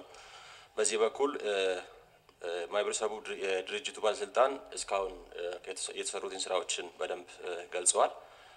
ከድርጊት መርሃ ግብር ዝግጅ ማዘጋጀት ከዛም በላይ የተገኘውን የኦዲት ግኝት በክፍልም ቢሆን የተወሰዱ እርምጃዎች አሉ። አንድ እዚህ ላይ የማነሳው የተገኙት የኦዲት ግኝት ከገቢ balance ኡን ጠብቆ መመዝገብ ያለበት ጉዳይ እንዳለ የሆነው የእያንዳንዱ የገቢም ይሁን የወጪ የሂሳብ ኮዶች የራሳቸው normal balance አላቸው። ግን እዚህ ላይ ያየነው ነገር ከ normal balance ውጭ የተመዘገቡና ሌሎችም አስፈላጊ ለኦዲት ሰነዶች በጊዜ አለማቅረብ እና ከዛም በላይ ያሉት የኦዲት ግኝቶች እንዳሉ ዛሬ ያየን ጉዳይ ነው። እስካሁን የተወሰዱ እርምጃዎች አሉ። ነገር ግን አሁንም መወሰድ ያለበት ተጨማሪ ስራዎች አሉ። ለዚህ ሁሉ ችግር መስሪያ ቤቱ እንደገና በድጋሚ ማየት ያለበት ጉዳይ እኔ ሶስት ነገሮች ላይ ሀሳብ መስጠት እፈልጋለሁ። አንደኛ ጠንካራ የውስጥ ኦዲት ማኖር አለባቸው። ጠንካራ የውስጥ ኦዲት ሲኖር ያ አሁን የታየውን ችግሮች ቀደም ብሎ ያይና ለሚመለከተው ሪፖርት በማቅረብ ችግሮቹ በጊዜ እልባት እንዲያገኙ ማስራት ያለበት ጉዳይ ስለሆነ የጠንካራ የውስጥ ኦዲት እንዲኖር መስሪያ ቤቱ በደንብ ማሰብና ማስራት ያለበት ጉዳይ መሆኑን እዚህ ላይ ሀሳብ መስጠት እፈልጋለሁ። ከዛ ውጪ ጠንካራ የውስጥ ክትትል ማለት effective internal control system መስሪያ ቤቱ መስራት አለበት። ሂሳቦች በየ quarter በየአመቱ ይዘጋሉ። የሚዘጋው ሂሳቦች መጀመሪያ በ management ኡ በደንብ በመገምገም ያሉትን ችግሮችን በመለየት ለውሳኔ እንዲቀርብ የሚደረጉ ሂሳቦችን ውሳኔ በማሳለፍ ማስተካከል ያለበት ጉዳይ እንዳለበት ሀሳብ መስጠት ነው። ከዛ ውጪ ከገንዘብ ሚኒስቴር ጋር ያላቸውን ቅንጅት መጠናከር እንዳለበት ይላለው። ምክንያቱም ገንዘብ ሚኒስቴር በየኳርተሩም ሆነ በየአመቱ የሚሰጡ ሪፖርቱን ችክን ይቀበላል። በተቀበለው ሪፖርት ላይ ሀሳብ ይሰጣል። ያ መስሪያ ቤቱ ገንዘብ ሚኒስቴር የሚሰጡን ሀሳብ በደንብ በማየት መፈተሽ ያለባቸው ነገሮች በደንብ ማየት እንዳለበት ሀሳብ ለመስጠት ነው። በአጠቃላይ አሁንም ያልተስተካከሉ ኦዲት ግኝቶች እንዳሉ ያው አብረን ያየን ጉዳይ ስለሆነ ተጨማሪ ስራዎችን በማስራት በማረም የኦዲት ግኝቱ በሙሉ እንዲስተካከሉ ስራዎችን ማስራት አለበት። ይህን ስል አሁን ያላቸው opinion ከዚያ በማውጣት የተሻለ ወይም የተሻለ የሚባለው opinion እንዲያገኙ ከዚህ በላይ ማስራት እንዳለባቸው ለማሳሰብ ነው። ከዚህ በላይ የመስሪያ ቤቱ የሂሳብ አያያዝና ሪፖርት ጋር ተያይዘው ያለውን አሁን ያለውን ችግሮች አሁን የተጀመሩ ሪፎርሙን በማጠናከር ብቃት ያለው ሰው ባለሙያ ወይም ሰው በማፍራት መስሪያ ቤቱ የተሻለውን ስራ ማስራት እንዳለበት ሀሳቤ መስራት ነው። አመሰግናለሁ። እናመሰግናለን። በመቀጠል የቋሚ ኮሚቴያችን ምክትል ሰብሳቢ የማጠቃላይ ሀሳባቸውና አጠቃላይ ምናልባት የባለስልጣኑ የስራ ኃላፊዎች ምላሽና ማብራሪያ ሲሰጡ በማየት የሚገባቸው ነጥቦች እንዲያነሱ እድል እሰጣለሁ። አመሰግናለሁ ክቡር ሰብሳቢ። እኔ አብዛኛዎቹ ጥያቄዎች ከቤት ውስጥም ተነስተዋል እና እንደብራራለን እና የራሴንም ሀሳብ የምሰጥበት አንድ ሁለት ሶስት ጥያቄዎችም ስላሉኝ ነው።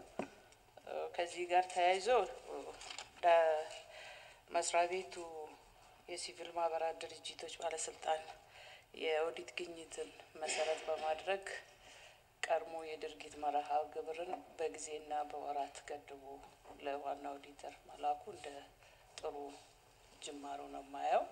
ከዚህም ጋር ተያይዞ ለግኝቱ ያላቸውን ቅብረት ተከታትሎ ለማስፈጸም የሄዱበት መንገድም ሊበረታታ የሚገባ ነው።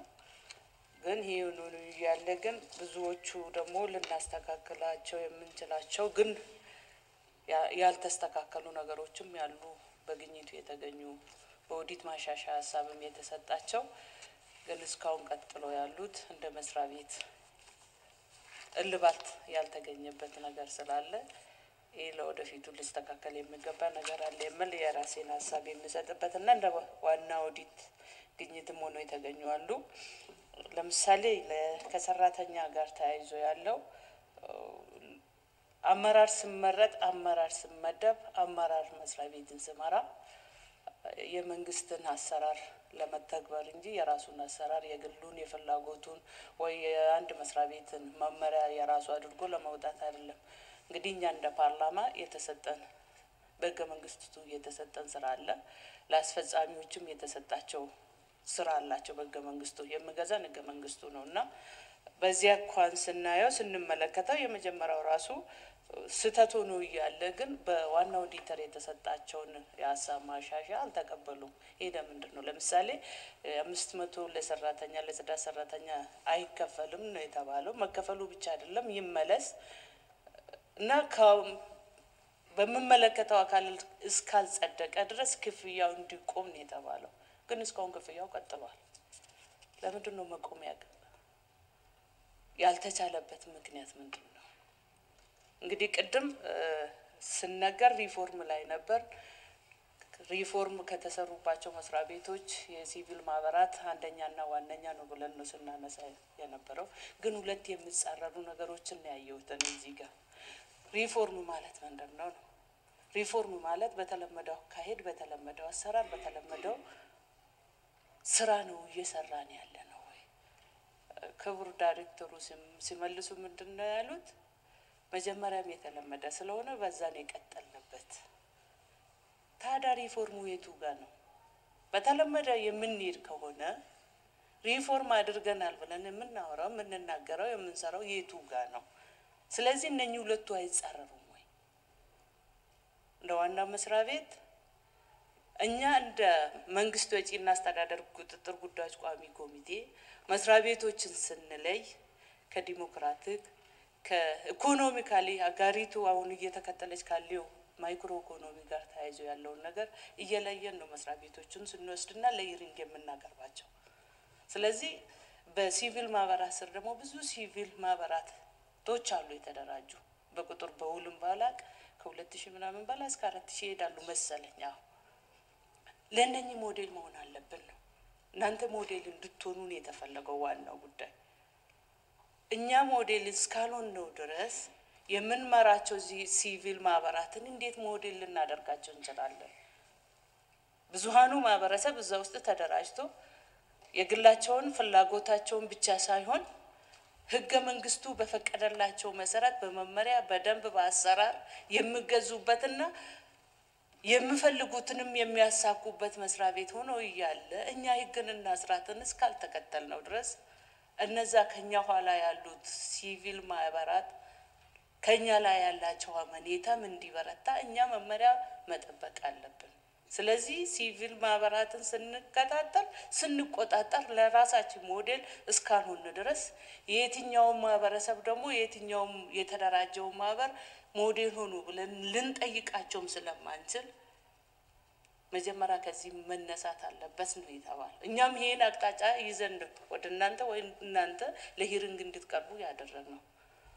ስለዚህ ስህተት አይኖርም አይደለም፣ ይኖራል። የሚሰራ ሰው ይሳሳታል። ግን የእናንተ ስህተት ደግሞ ከሌሎቹ የተለየ ነው። ማስረጃ ማቅረብ፣ መመሪያ መጣስ፣ የአቅም ውስንነት ሰራተኞቹ ጋር ምናልባት ሊኖር ይችላል እና ይህን ይህን ካላስተካከል ሪፎርም ሰርተናል የምንለው የቱ ጋር ነው የምለው ጥያቄ ስለፈጠረብኝ ምናልባት ክቡር ሚኒስቴሩም ተጠሪነቱ ይህ መስሪያ ቤት ለፍትህ ሚኒስቴር ስለሆነ ፍትህ ሚኒስቴር ደግሞ ህግ፣ መመሪያ፣ አዋጅ እንደ ሀገር የዚህን ተቋም ብቻ ሳይሆን በሀገሪቱ ውስጥ ያሉ መስሪያ ቤቶችም ህግና መመሪያን ተከትሎ እንዲተገብሩ የሚያደርግም አካልም ስለሆኑ የዚህን ኦዲት ግኝት በቅርበት ያውቃሉ ወይ የሚል ጥያቄም ስላለኝ ማብራሪያ ቢሰጡ። አንድ እሱ ነው።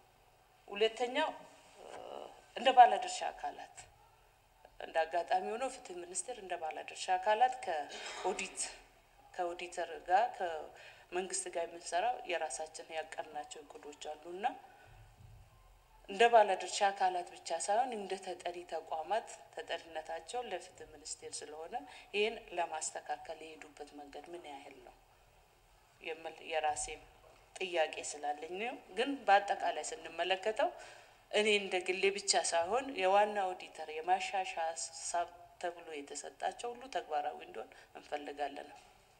የማሻሻያ ሀሳብ ለህግ መቅረብ አለበት ተብሎ እየተጻፈ ከሆነ ያለ ለህግ እንዲቀርብ መመለስ አለበት የተባለው እንዲመለስ መመሪያና ህግ ተከትሎ መፈጸም አለበት እንዲፈጸም እኛን የሚገዛን የዋና ኦዲተር የማሻሻያ ሀሳብና በህገ መንግስቱም የተሰጠ መመሪያ እንድንጠብቅ ስለሆነ በዚህ ላይ የሲቪል ማህበራት ባለስልጣናት የሄዳችሁበት ጥሩ ስራዎች እንዳሉ ሁሉ ደግሞ የታዩት ግድፈቶችም ጉድለቶችም አሉ።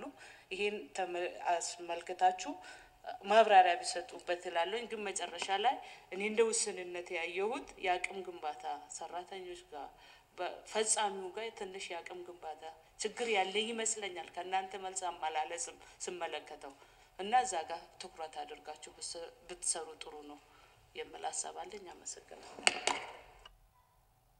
እናመሰግናለን የተከበሩ ወይዘሮ አራሬ። በመቀጠል የሲቪክ ማህበራት ድርጅት ባለስልጣን እንዲሁም የፍትህ ሚኒስትሩ በቀረቡ ሀሳቦች ላይ የማጠቃላይ ሀሳባቸውን እንዲሰጡ እጋብዛለሁ። እሺ አመሰግናለሁ የተከበሩ ሰብሳቢ። ምናልባት ከተፈቀደልኝ አጠቃላይ ሀሳብ ከመስጠቴ በፊት የተቋማችን የግዢና ፋይናንስ ስራ አስፈጻሚ እና የውስጥ ኦዲተር አጠር ባሉ technical ጉዳዮች ላይ ትንሽ ማብራሪያ እንዲሰጡ ቢፈቀድ። ያው ጥያቄዎቹ በጣም ውስን ናቸው። እናንተም በቂ ምላሽ ሰጣችሁባቸዋል። የማጠቃላይ ሀሳብ ስለሆነ በመሪዎች ደረጃ በተቋማት የበላይ ኃላፊዎች በኩል ማጠቃላይ ሀሳብ እንዲሰጥ ነው እኛ እስካሁን የተከተልነው ፕሮቶኮል እና በቀጣይ ሄዳችሁ መርሃ ግብር ብዙም ስለምታስተካክሏቸው detail ስራዎች ስላሉ ማብራራት የሚገባቸው ገለጻ መሰጠት የሚገባቸው ጉዳዮች ካሉ በድርጊት መርሃ ግብር ወይም ደግሞ በሪፖርታችሁ ላይ ማካተት ትችላላችሁ። አሁን እርስዎ የማጠቃላይ ሀሳብ እንዲሰጡ ልጋብዟት። አመሰግናለሁ የተከበሩ ሰብሳቢ። በቅድሚያ ስለተሰጡን እጅግ በጣም ገንቢ ሀሳቦችና አስተያየቶች ተቋሜን እና ራሴንም ወክዬ እጅግ በጣም አድርጌ ማመስገን እፈልጋለሁኝ። እ፣ እንደተባለው የዋና ኦዲተርም ለመግለጽ እንደሞከሩት ማስተካከያዎች የተደረጉባቸው እነሱም የተቀበሏቸው አሉ። በከፊል ማስተካከያ የተደረገባቸው እንዲሁም ደግሞ ጥቂት የሚቀሩ ነገሮችም እንዳሉ የጠቀሷቸውን ወስደን የምንሰራበት ነው የሚሆነው። ነገር ግን ምናልባት ለዚህ ቋሚ ኮሚቴም ጠቃሚ ይሆናል ብዬ አንድ ማንሳት የምፈልገው ነገር ከአቅም ውስንነት ጋር በተያያዘ ክብርት ምክትል ሰብሳቢ አሁን መጨረሻ ላይ ያነሱት የአቅም ውስንነት እንዳለ በተለይ የሂሳብ ኃላፊው ወይም ሂሳብን የሚመራው ባለሙያ ፋይናንስ ሄዱ ጋር ችግር እንዳለ አይተናል። የሁለት ሺ አስራ ሶስት ሪፖርት ከደረሰን በኋላ እ፣ በዛው መሰረት ሁለት ሺ አስራ አራት ላይ ማስተካከያዎች እንዲያደርግ እድል ሰጥተነው ያንን ማድረግ ባለመቻሉ ያው ከቦታ ላይ እንዲነሳ እና በቦታው የተሻለ አቅም ያለው ሰው እንዲመደብ አድርገናል። በአሁኑ ጊዜ እኚህ ሰው በስራቸው ላይ የሉም ማለት ነው። ይሄ እንግዲህ በዋነኛነት በተሰጠን አስተያየት መሰረት ማስተካከያዎችን ለማድረግ ቁርጠኛ አቋም እንደ ተቋም ያለን መሆኑን ለመግለጽ ነው።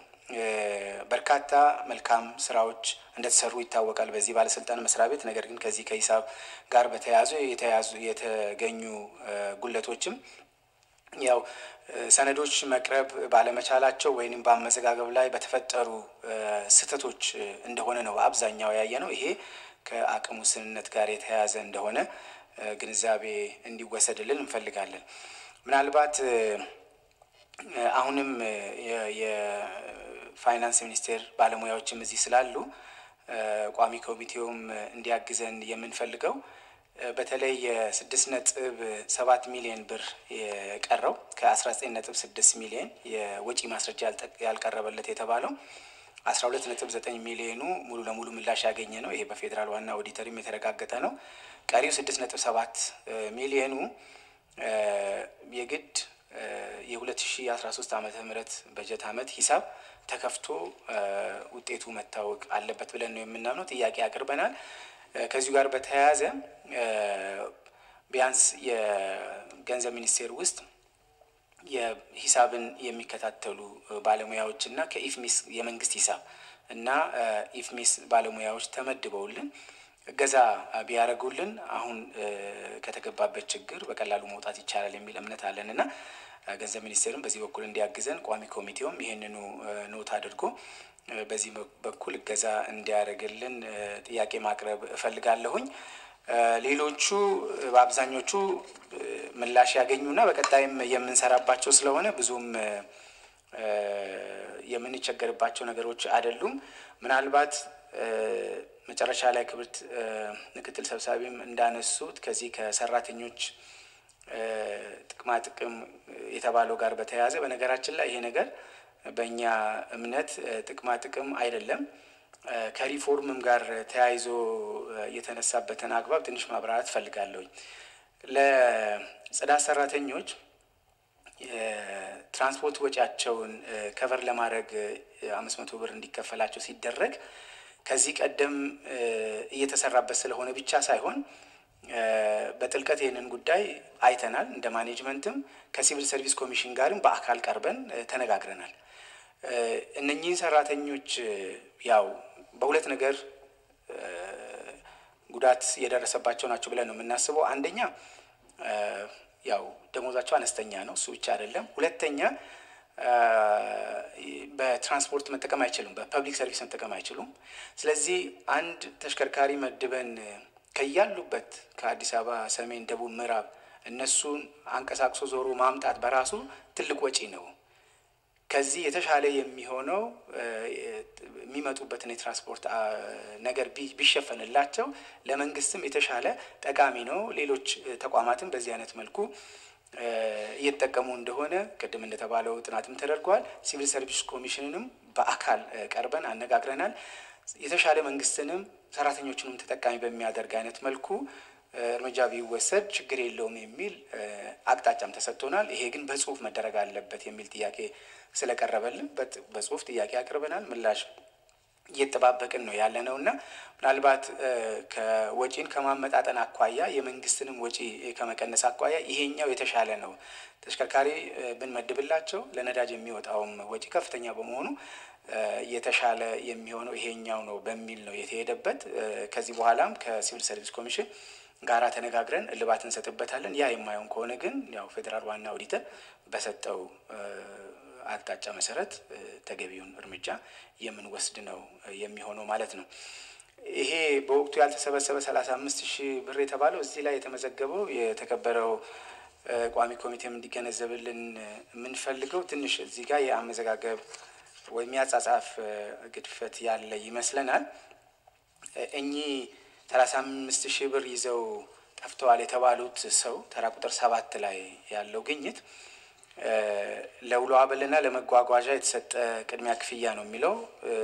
እንደሱ አይደለም እኛ ባለን መረጃ። ይሄ እንግዲህ እኛም ወደዚህ ተቋም ከመምጣታችን በፊት ሁለት ሺህ አምስት ዓመተ ምህረት የሆነ ነው። ለማስታወቂያ ስራ የተወዳደረ ድርጅት ነው። ለተቋሙ ማስታወቂያ ለመስራት ተወዳድሮ ቅድመ ክፍያ ሰላሳ አምስት ሺህ ብር ተቀብሎ ስራውን ሳይሰራ ነው የጠፋው። ከዛ ጉዳዩ ለፍርድ ቤት ቀርቧል። ተከሶ ተፈርዶበታል። ፍርድ ያረፈበት ነው።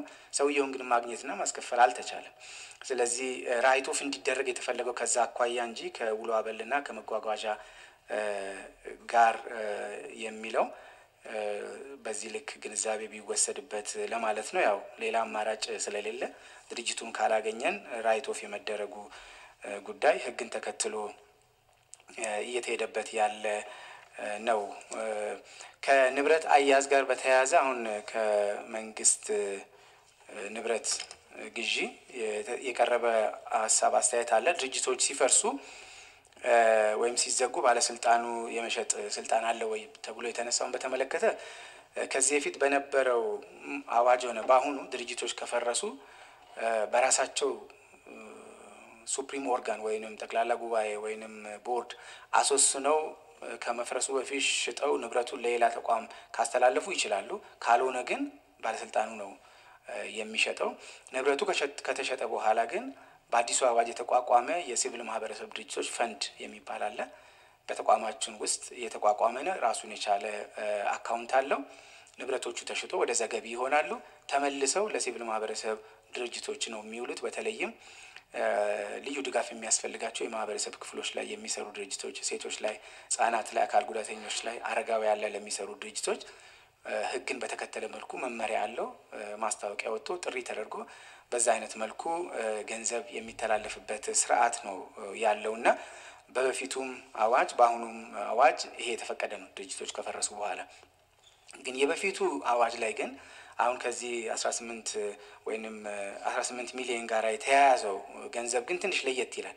ለየት የሚለው ምንድን ነው? ድርጅቶች ሳይፈርሱ በፊትም ንብረት መሸጥ ሲፈልጉ መሸጥ አይችሉም በራሳቸው በቀደመው አዋጅ። በአሁኑ አዋጅ ይችላሉ፣ መሸጥ ይችላሉ፣ ንብረት ማፍራት ይችላሉ፣ ማስተዳደር ይችላሉ፣ ማስተላለፍም ይችላሉ በራሳቸው እኛንም ሳያማክሩ በአስራ አምስት ቀን ውስጥ ሽያጩን ከፈጸሙ በኋላ ነው የሚያስታውቁን በአዲሱ አዋጅ መሰረት።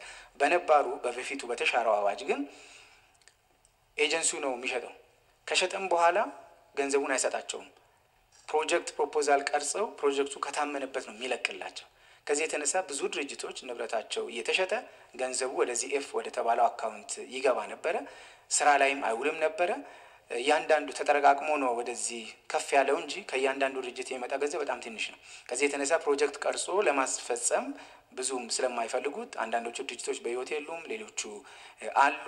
ስለዚህ በጣም ጥልቅ የሆነ ስራ ይፈልጋል። በእኛ በኩል propose ያደረግነው ወደ ሲቪል ማህበረሰብ ድርጅቶች ፈንድ ገብቶ ለሲቪል ማህበረሰባቱ ቅድም ላልኳቸው ልዩ ድጋፍ ለሚያስፈልጋቸው ማህበራት ላይ የሚሰሩ ማህበረሰብ ላይ የሚሰሩ ድርጅቶች እንዲጠቀሙ ማድረግ የተሻለ ነው። ዞሮ ዞሮ ገንዘቡ ትሬዠሪ ነው ያለው፣ እኛ ጋር አይደለም ያለው። ከገንዘብ ሚኒስቴር ጋር ተነጋግረን ተመካክረን ምላሽ የምንሰጥበት ነው የሚሆነው። ብዙም ከባድ issue ነው ብለን የምንወስደው አይደለም።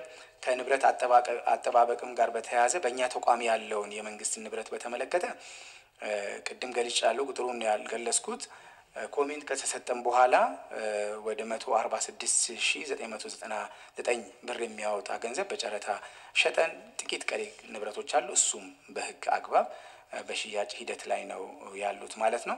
በአጠቃላይ የተሰጡን ሀሳቦችና አስተያየቶች ለእኛ እጅግ በጣም ጠቃሚዎችና ወደፊት የተሻለ ህግን አክብሮ የሚሰራ ተቋም ሆኖ እንዲቀጥል ለማድረግ የሚያግዘን ስለሆነ ጠንክረን የምንሰራበት ነው የሚሆነው።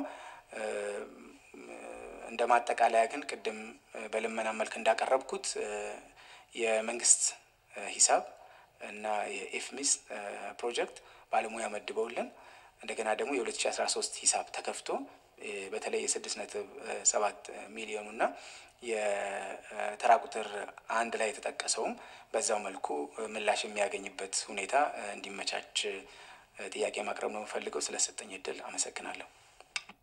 እናመሰግናለን ክቡር ዋና ዳይሬክተር። ክቡር ሚኒስትር የማጠቃለያ ሀሳብ እንዲሰጡ ጋብዛለሁ። እሺ፣ አመሰግናለሁ። እኔ በማጠቃለያ በጣም አጭር ነገር ነው ለማንሳት የፈለግኩት ሁለት ነጥቦችን። ነው ማንሳት የምፈልገው። አንደኛ ያው ማኑዋል ከሆነው ወደ ዲጂታል ወደ ሆነው ወደ ዘመናዊው የኢፍሚስ አሰራር ስንሸጋገር የባለሙያዎችንም አቅም ክህሎት ይህንን ስርዓት ዲጂታል የሆነውን ስርዓት በአግባቡ ለመጠቀም በደንብ መገንባት ያስፈልጋል። ከዛ ጋር በተገናኘ ያጋጠሙ ክፍተቶችን ለመቅረፍ ባለስልጣን መስሪያ ቤቱ ይህንን ስራ የሚከታተለውን ኃላፊ ለውጧል። እኛም በቀጣይ ክትትል የምናደርገው ይህንን ስራ የሚከታተሉ ኃላፊዎች፣ ባለሙያዎች ተገቢውን ስልጠና ተገቢውን የአቅም ግንባታ አግኝተው ስራውን መስራት የሚችሉ ብቁ የሆኑ እንዲሆኑ ክትትልና ድጋፍ ከገንዘብ ሚኒስቴር ጋር በመተባበር እናደርጋለን። ሌላው ሁለተኛ ማንሳት የፈለግኩት እንግዲህ አስር ከነበሩት ግኝቶች በዋናው ኦዲተር ኃላፊዎች እንደተገለጸው ሶስት ሙሉ ለሙሉ ተቀርፈዋል። ሁለት በከፊል ነው የተቀረፉት። የእርምት እርምጃ የሚፈልጉ ገና እርምት እርምጃ ያልተወሰደባቸው አስር ቀሪ አምስት ጉዳዮች አሉ። ከነዚህ ውስጥ የተወሰኑትን በምናይበት ጊዜ በአንጻራዊነት በቀላሉ የእርምት እርምጃ ሊወሰድባቸው የሚችሉ ናቸው። ስለዚህ ባለስልጣን መስሪያ ቤቱ ባወጣው የእርምት መርሃ ግብር መሰረት ተገቢውን እርምጃና ማስተካከያ ወስዶ እነዚህን ነገሮች እያጠራ እንደሆነ ከተቋሙ ጋር ባለን የክትትልና የድጋፍ ግንኙነት እኛም እንከታተላለን፣ ድጋፍ እናደርጋለን። ሌሎች ባለድርሻ አካላት ከገንዘብ ሚኒስቴርም ጋር ከዋና ኦዲተርም ጋር በትብብር መሰራት ያለባቸው ነገሮች በእቅዱ መሰረት እየተፈጸሙ መሆኑን እንከታተላለን የሚለውን ነው ለማንሳት የፈለግኩት። አመሰግናለሁ። እናመሰግናለን። በመቀጠል ክብርት ዋና ኦዲተር የማጠቃለያ አስተያየት እንዲሰጡ ጋብዛለሁ። አመሰግናለሁ። የተከበሩ ሰብሳቢ፣ የሲቪል ማህበረሰብ ድርጅት የድርጊት መርሃ ግብር አዘጋጅቶ አቅርቧል። የተወሰዱትን ማሻሻያ ሀሳቦች መሰረት ማድረግ የተወሰዱ ማስተካከያ እርምጃዎችንም የኛ ኦዲተሮች እዛ ስላሉ አረጋግጠናል። ይህንን በጥሩ ጎኑ መቀጠል አለባቸው ብለን ነው የምናስበው። ቀሪ ያልተሻሻሉትንም እንዲያሻሽሉ አስተያየት ሰጥቼ ግን መታየት ያለባቸው ነገሮች ላይ ትኩረት መሰጠት ያለባቸው ላይ አስተያየት ነው የምሰጠው። የፌዴራል ዋና ኦዲተር መስሪያ ቤት የተከበረው ምክር ቤት ያጸደቀውን በጀት በተመደበው የተመደበውን በጀት በተቀመጡ አዋጆች፣ ደንቦች፣ መመሪያዎችን መሰረት አድርጎ መሰራቱን አረጋግጦ ለተከበረው ምክር ቤት ያቀርባል። ባለፈው የሁለት ሺ አስራ ሶስትን የኦዲት ሪፖርት በምናቀርብበት ጊዜ አስተያየት መስጠት አልቻልንባቸውም ካልናቸው ድርጅቶች የሲቪል ማህበረሰብ ድርጅት ነው። ይሄ እንደ ኦዲተር ትልቅ ችግር ነው። ምክንያቱም አስተያየት መስጠት አንችልበትም ካልነው አንዱ በገቢ ሂሳብ ላይ ወደ አስር ነጥብ ስምንት ሚሊዮን ማስረጃ አልቀረበለትም። ወደ ወጪ ደግሞ አስራ ዘጠኝ ነጥብ ስድስት ሚሊዮን የሚሆን ማስረጃ ሰነድ አልቀረበለትም። ይሄ ገንዘብ በትክክለኛ የተሰበሰበውም በሕጉ መሰረት መሰብሰቡን ወጪ የሆነውም በትክክለኛ ለታሰበለት ዓላማ መዋሉን ለማረጋገጥ ኦዲተር የሚያረጋግጠው ሰነድ ሲደርስለት ነው። ስለዚህ ሰነድ ስላልቀረበልን ይህንን ማየት አልቻልንም። እርግጥ ከዛ በኋላ ባደረግነው የ follow up audit ወደ አስራ ሁለት ነጥብ ስድስት የሚሆን አሁን ወደ ስድስት ነጥብ ወደ ስድስት ሚሊዮን አካባቢ ነው የሚቀረው።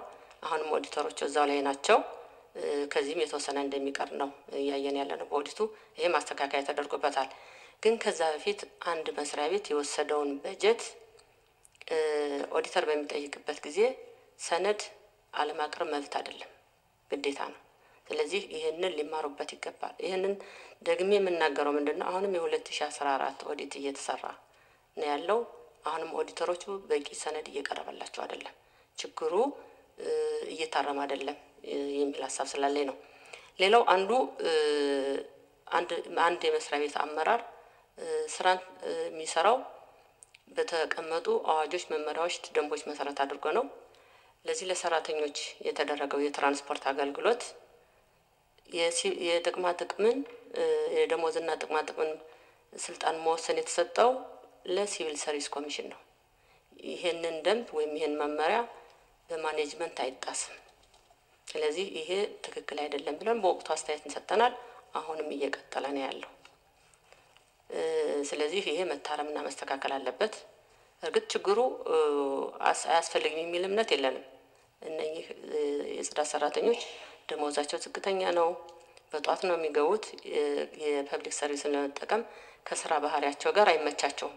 ግን ይህንን ከሚመለከተው አካል ጋር ተነጋግሮ መፍታት እንጂ በ management ውሳኔ መንግስት ያስቀመጠውን መመሪያና ደንብ መጣስ ተጠያቂነትን ያስከትላል። ስለዚህ ከዚህ አግባብ አይተው እርምጃ ሊወስዱ ይገባል፣ ሊያስተካክሉ ይገባል። አሰራሩ ወደ ነበረበት መመለስ አለበት የሚል አስተያየት ነው የምሰጠው። ሌላ ይሄን ካልኩኝ ከዚህ እ፣ ከሪፎርሙ ጋር በተመለከተ እኛ ሪፎርም ማድረጉ ጥሩ ነው። ሪፎርም ሲሰራ ግን ያለ resource የሚሰራ ሪፎርም የለም። ስለዚህ በፋይናንስ ላይ ያሉ የአሰራርና ስርዓቶችን ክትትል፣ ቁጥጥር ማድረግ በዚያ ያለውን ሰራተኛ ማየት እንደውም አሁን ሪፎርሙ ለእነሱ ጥሩ አጋጣሚ ነው ብዬ ነው የማስበው።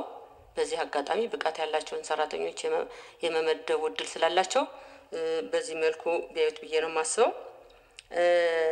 ሌላ ከዚህ ከንብረት ጋር በተ- በተያያዘ እነሱም አብራርተውታል። እኛ በተሰበሰበው ገንዘብ ላይ በተለይ የጨረታ ሰነዱ አልቀረበልን። አሁን ችግሩ ተፈቷል። በዚህ መልኩ ቢያዩት ሌላ ከ follow up ጋር በተመለከተ ከተከበሩ ምክር ቤት አባል የቀረበ ጥያቄ አለ። ይህኛ የፋይናንስን ኦዲት ከክዋኔ ኦዲት በተሻ- በተሻለ ማለት ነው በየአመቱ የ follow up ኦዲት ሪፖርት ይሰራል። ይህንንም አሁን ከአምና ከሰጠነው አስተያየት የተለየ እርምጃ መወሰዱን አረጋግጠን ያቀረብነው የ follow up ኦዲት ስለተሰራ ስለሆነ የ follow up ኦዲት ይሰራል የሚል ነው። አሁን በዚህ አጋጣሚ እኔ ግን የተከበሩ ፍትህ ሚኒስትሩ ተገኝተዋል። እነዚህ የተጣሱ ህጎችንም ሀሰነ- ሀሰነድ ማስረጃ ሀሰነድ ማቅረብ ያሉ ችግሮችንም አይተው ተከታትለው እኔ በወቅቱ እርምጃ ወይም ክትትልና ቁጥጥር ድጋፍ እንዲደረግ በዚህ አጋጣሚ ማሳሰብ እወዳለሁ። አመሰግናለሁ። እናመሰግናለን ክብርት ዋና ኦዲተር ሁላችሁንም በዚህ በ2013 በጀት ዓመት የሂሳብ ህጋዊነት ኦዲት ላይ የሲቪክ ማህበራት ባለስልጣንን አስመልክቶ የስራ ኃላፊዎችም ክቡር ሚኒስትሩም ሌሎቻቸውም ተገኝታችሁ አስተያየት ስለሰጣችሁ በጣም ነው የምናመሰግነው። ተስፋ አደርጋለሁ የባለስልጣኑ የስራ ኃላፊዎችና ባለሙያዎች የተሰጡ አስተያየቶችን በአግባቡ እንደያዛችሁ እ፣ በመቀጠል ግን አንዳንድ አጽንኦት መሰጠት አለባቸው የምላቸውን ጉዳዮች ማንሳት እፈልጋለሁ። በተለይ ከዚህ ወደ አስር ነጥብ ስምንት እና በአንድ በኩል ደግሞ አራት ነጥብ አንድ ሚሊዮን ጋር ተያይዞ የቀረበው ጉዳይ የሚሰጠው አስተያየት ምንድን ነው? ከኢፍ ሚስ ከሲስተሙ እናወጣለን የሚል አስተያየት ሰጣችኋል። እዚያ ላይ እናንተ ምላሽ ስትሰጡ መረጃውን ደግሞ ማቅረብ አልቻላችሁ። በተደጋጋሚ ጊዜ መረጃው እንዲቀርብ ጥያቄ ተጠይቃችሁም ያቀረባችሁ እንዳልሆነ ዛሬም ያልተስተካከለ ጉዳይ እንደሆነ እየቀረበ ነው እና መረጃ ለማቅረብም ፍላጎት እንደሌላችሁ አሁን ክብርት ዋና ኦዲተሯም እየገለጹ ነው። በዚህ የ2013 በጀት ዓመት ብቻ ሳይሆን የ2014 በጀት ዓመትም ተመሳሳይ ነገር እየሄዳችሁ ነው እና ይሄ እንደ ምክር ቤት የመንግስት በጀት በተገቢ ሁኔታ ሕግና ስርዓትን በጠበቀ ሁኔ- ሁኔታ ጥቅም ላይ መዋሉን ለማረጋገጥ ምክር ቤቱ አደራ እንደሰጠው ቋሚ ኮሚቴ ይሄ ተገቢ ያልሆነ እንደሆነ እናንተ ማውቃችሁ አጽንኦት ሰጣችሁ እንዲሰሩበት እንፈልጋለን። እንደ አጋጣሚ ሆኖ የሲቪክ ማህበራት ባለስልጣን ለሌሎችም አብነት መሆን ያለበት በስራው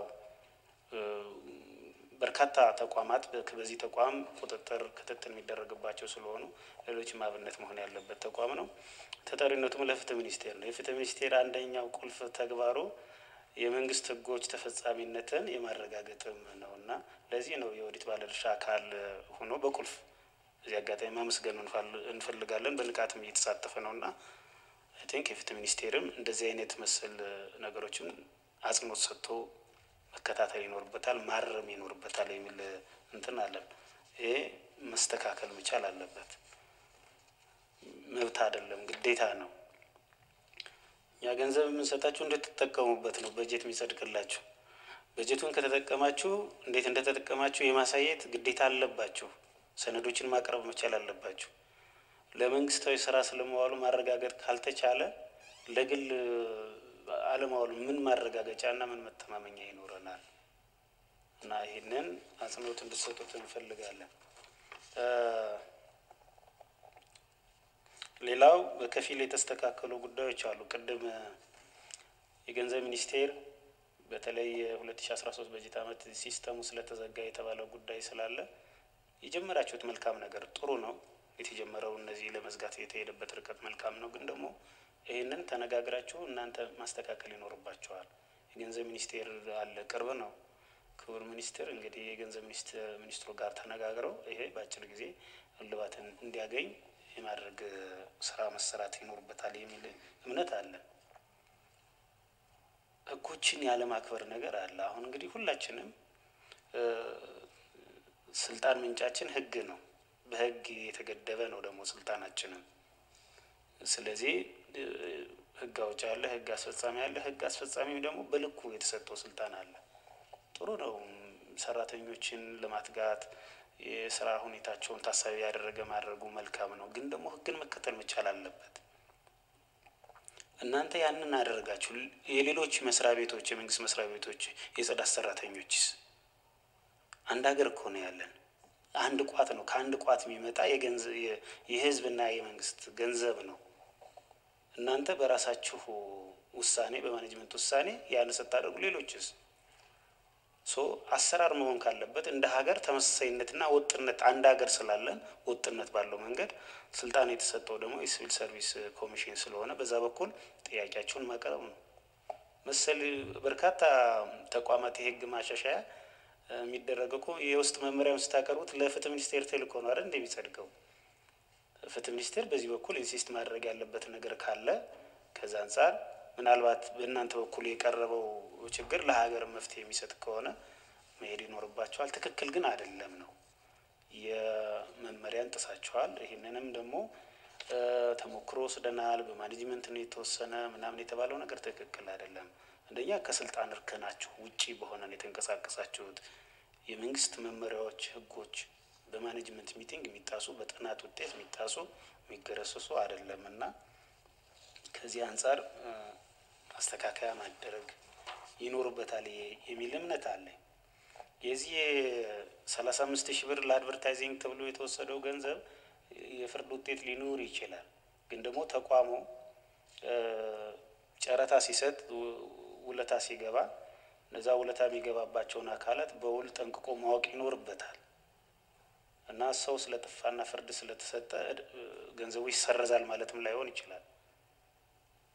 ሌላ ንብረት ካለ ማካካሻ ሊኖር መቻል መቻል አለበት። አሊያ በጎ ያልሆነ ልምምድ ይኖራል። እንደዚህ አገልግሎት እንሰጣለን ብለው ከመንግስት ተቋማት ጋር ውለታ የሚገቡ ግለሰቦችና ተቋማት ገንዘብ እየወሰዱ እየጠፉ ዕዳ እየተሰረዘ ሊቀጥል አይችልም። የግብር ከፋዩ ገንዘብ ነው፣ የሀገር ሀብት ነው። እሱም አለመስተካከሉ ተገቢ አይደለም ነው። ይሄ በአደራ የወሰዳችሁት ወደ አስራ ስምንት ሚሊዮን የሚደርሰው ገንዘብ እዛ ላይ በኦዲት ማሻሻያ መርሃ ግብራችሁም ላይ አገር በቀል ድርጅቶች ይሰጣል የሚል እንትን ነው ያስቀምጣችሁት እንደ መፍትሄ እርምጃ። እስከ ዛሬ ግን አልተሰጠም። አብዛኞቹ የኦዲት ማሻሻያ መርሃ ግብራችሁ ላይ አብዛኞቹ ማሻሻያ ይደረግባቸዋል ብላችሁ የጊዜ ገደብ ያስቀመጣችሁት መስከረም ሁለት ሺ አስራ አምስት ነው። ዛሬ አሁን ጥር አስራ ሰባት ላይ ነን። አምስቱ ሙሉ በሙሉ አልተሻሻሉም። ሁለቱ በከፊል ናቸው። መቼ ነው የምታስተካከሉት? ይሄ ከጊዜም ጋር መስተካከል ያለበት የህዝብ ገንዘብ ስለሆነ ጥቅም መስጠት መቻል አለበት እና ይህንን ከገንዘብ ሚኒስቴር ጋር ተነጋግራችሁ በእናንተ የስልጣን እርከን የሚወድቅ ከሆነ ማስታወቂያ አውጥታችሁ በርካታ ይህን ያህል ገንዘብ የሚፈልጉ በርካታ ተቋማት አሉ እና የ resource ውስንነት ባለበት ሀገር ላይ ይህን ያህል ገንዘብ ያለ ጥቅም መቀመጡ ትርጉም የለውም እና ይህንንም እርምጃ አለመወሰዱ ተገቢነት የለውም ብለን እንወስደው ነው። ከንብረት ጋር በተያያዘ እናንተ ተስተካክሏል ትላላችሁ። አሁን ደግሞ የሁለት ሺ አስራ አራት የክትትል ኦዲትም ሲሰራ አለመስተካከሉን የዋና ኦዲተርም ማረጋገጫ እያቀረበ ነው። እዚሁ እናንተም ስታቀርቡልን ተስተካክሏል እያላችሁ ነው እና ከዚህም ጋር ተያይዞ መስተካከል ያለባቸው ጉዳዮች አሉ። አሁን እናንተ የሲቪክ የልዩ ልዩ ሲቪክ ማህበራትን መንግስታዊ ያልሆኑ ድርጅቶችን ትከታተላላችሁ፣ ትቆጣጠራላችሁ። so ንብረት አጠቃቀማቸውን ጭምር እኮ ታያላችሁ እና እናንተ አብነት መሆን መቻል አለባቸው። ያለ ጥቅም የሚውል አሁን በርካታ አካባቢዎች በጦርነትም በድርቅም በምንም የተጎዱ አካባቢዎች አሉ። ማትጠቀሙባቸው ካሉ በስልጣን እርከናቸው ህጉን ተከተላቸው ማስተላለፍም እኮ ይቻላል። አሁን እናንተ ዝም ብለው እንዲበላሹ የምታደርጓቸው በርካታ ንብረቶች ሌላ አካባቢ እጅግ በጣም የቅንጦት ነገሮች ናቸው። ገንዘብ ጠፍቶ ጥቅም ላይ ማይውሉ አንድ ሀገር ስላለን በእርዳታ መስጠት ይቻላል። ደግሞ መወገድ ካለባቸው ደግሞ በመንግስት ንብረትና ግዢ አገልግሎት በኩል እንዲወገዱ ጥያቄ ማቅረብ ይቻላል እና ይህን ያህል ጊዜ መቀመጥም ተገቢ ስላልሆነ አጽንኦት እንድትሰጡት እንፈልጋለን። እነዚህ አጽንኦት መሰጠት ያለባቸው ናቸው። በምንም መንገድ ግን ቅድምም እንዳልኩት ኦዲተር መጥቶ ኦዲት ለማድረግ ሰነድ አምጡ ሲባል ሰነድ አለማቅረብ መብት አይደለም ነው። ይሄ መታረም መቻል አለበት። ምናልባት ኦዲተሮች አሁንም እዛው ካሉ ከዚህ እንደተመለሳችሁ እናንተ እንግዲህ እንደ አመራር ይሄ መረጃ ካልደረሳችሁ አመራር ስለሆናችሁ እንደዚህ አይነት የኦዲት ግኝቶችን ቁልፍ የስራ ማሻሻያ የሪፎርም ማሳለጫ tool ኦች አድርጋችሁ መጠቀም ይኖርባቸዋል። financial leadership ም የ leadership key component ነው እና እሱንም አጽንኦት እንዲሰጡት እንፈልጋለን። እነዚህን መነሻ በማድረግ እንደ ቋሚ ኮሚቴ የሚከተሉትን አቅጣጫዎች አስቀምጠናል። አንደኛ ባለስልጣኑ የኦዲት ማሻሻያ መርሃ ግብሩን እስከ ጥር 27 2015 ድረስ እንዲያቀርብ በዚህ የኦዲት ማሻሻያ መርሃ ግብሩ ላይ የተሰሩ ስራዎች ካሉ ዝርዝር የተሰሩ ጉዳዮችንም በሪፖርት መልክ እንዲያቀርብልን እንፈልጋለን። ይህ የኦዲት ማሻሻያ መርሃ ግብር ለእኛ ብቻ ሳይሆን ለዋና ኦዲተሩም የተሻሻለ መርሃ ግብሩ መድረስ መቻል አለበት። ለእናንተን ለሚከታተለው የሕግና ፍትህ ቋሚ ኮሚቴም መቅረብ ይኖርበታል። ለገንዘብ ሚኒስቴርም መቅረብ ይኖርበታል የሚል አቅጣጫ አለ። ሁለተኛ የኦዲት ማሻሻያ አፈጻጸም ሪፖርት በየሶስት ወሩ እንዲያቀርብ እነዚህ ግኝቶች ሙሉ በሙሉ እስኪፈቱ ድረስ በየሶስት ወሩ progress update ኡን በሪፖርት መልክ እንዲያቀርቡ እንፈልጋለን። ሪፖርቱም ቀደም ሲል ለተገለጹ አካላት በግልባጭ መድረስ ይኖርበታል ነው። ሶስት ተመላሽ መደረግ ያለባቸው ያለ አግባብ የተከፈሉ ገንዘቦች ተመላሽ እንዲደረጉ መመሪያን በጣሱ የስራ ኃላፊዎችና ሰራተኞች ላይ ደግሞ ተገቢው አስተዳደራዊ እርምጃ ተወስዶ በአንድ ወር ጊዜ ውስጥ እንዲያሳውቁ እንፈልጋለን። ባለስልጣኑ በራሱ የዲስፕሊን እርምጃዎች መውሰድ ካለበት በራሱ በስልጣን እርከኑ መውሰድ ያለበትን ወስዶ በአንድ ወር ጊዜ ውስጥ ሪፖርትን እንዲያደርስ እንፈልጋለን።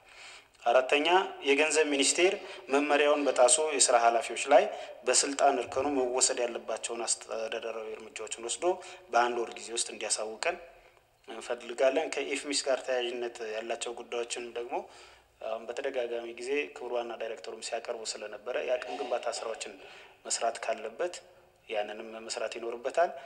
ከዚህ ከሂሳብ መዝገብ ጋር ተያያዥ ያሉ ጉዳዮችንም እልባት መስጠት ይኖርበታል። ሁሉንም በአንድ ወር ጊዜ ውስጥ እንዲያሳውቅ እንፈልጋለን።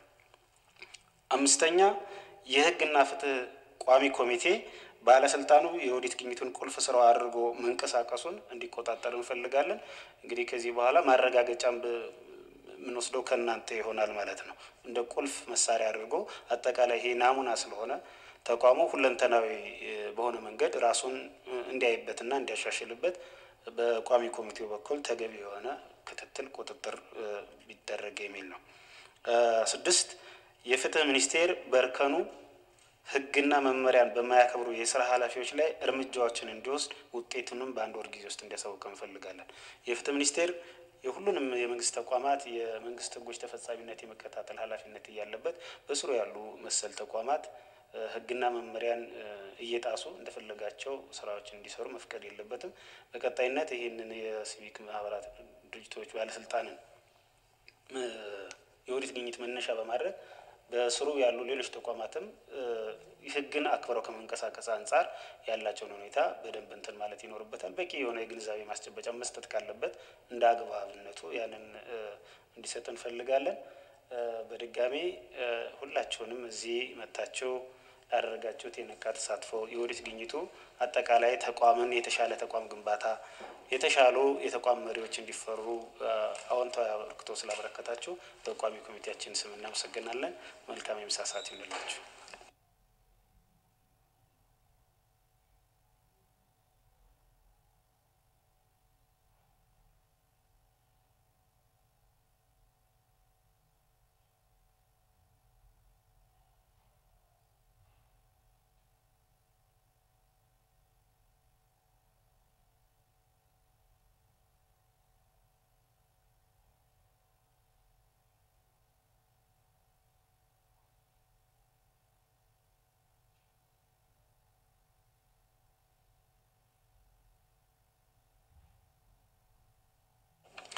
ባለድርሻ አካላት የቡናና ሻይ ባለስልጣን አንድ የክዋኔ ኦዲት ስላለ ከሰዓት ስምንት ሰዓት ስለሚቀጥል እንድትገኙ ሰባት ሰዓት ተኩል ሻርፕ ስምንት ሰዓት ይጀምራል እንድትገኙ አደራ ማለት እንፈልጋለን።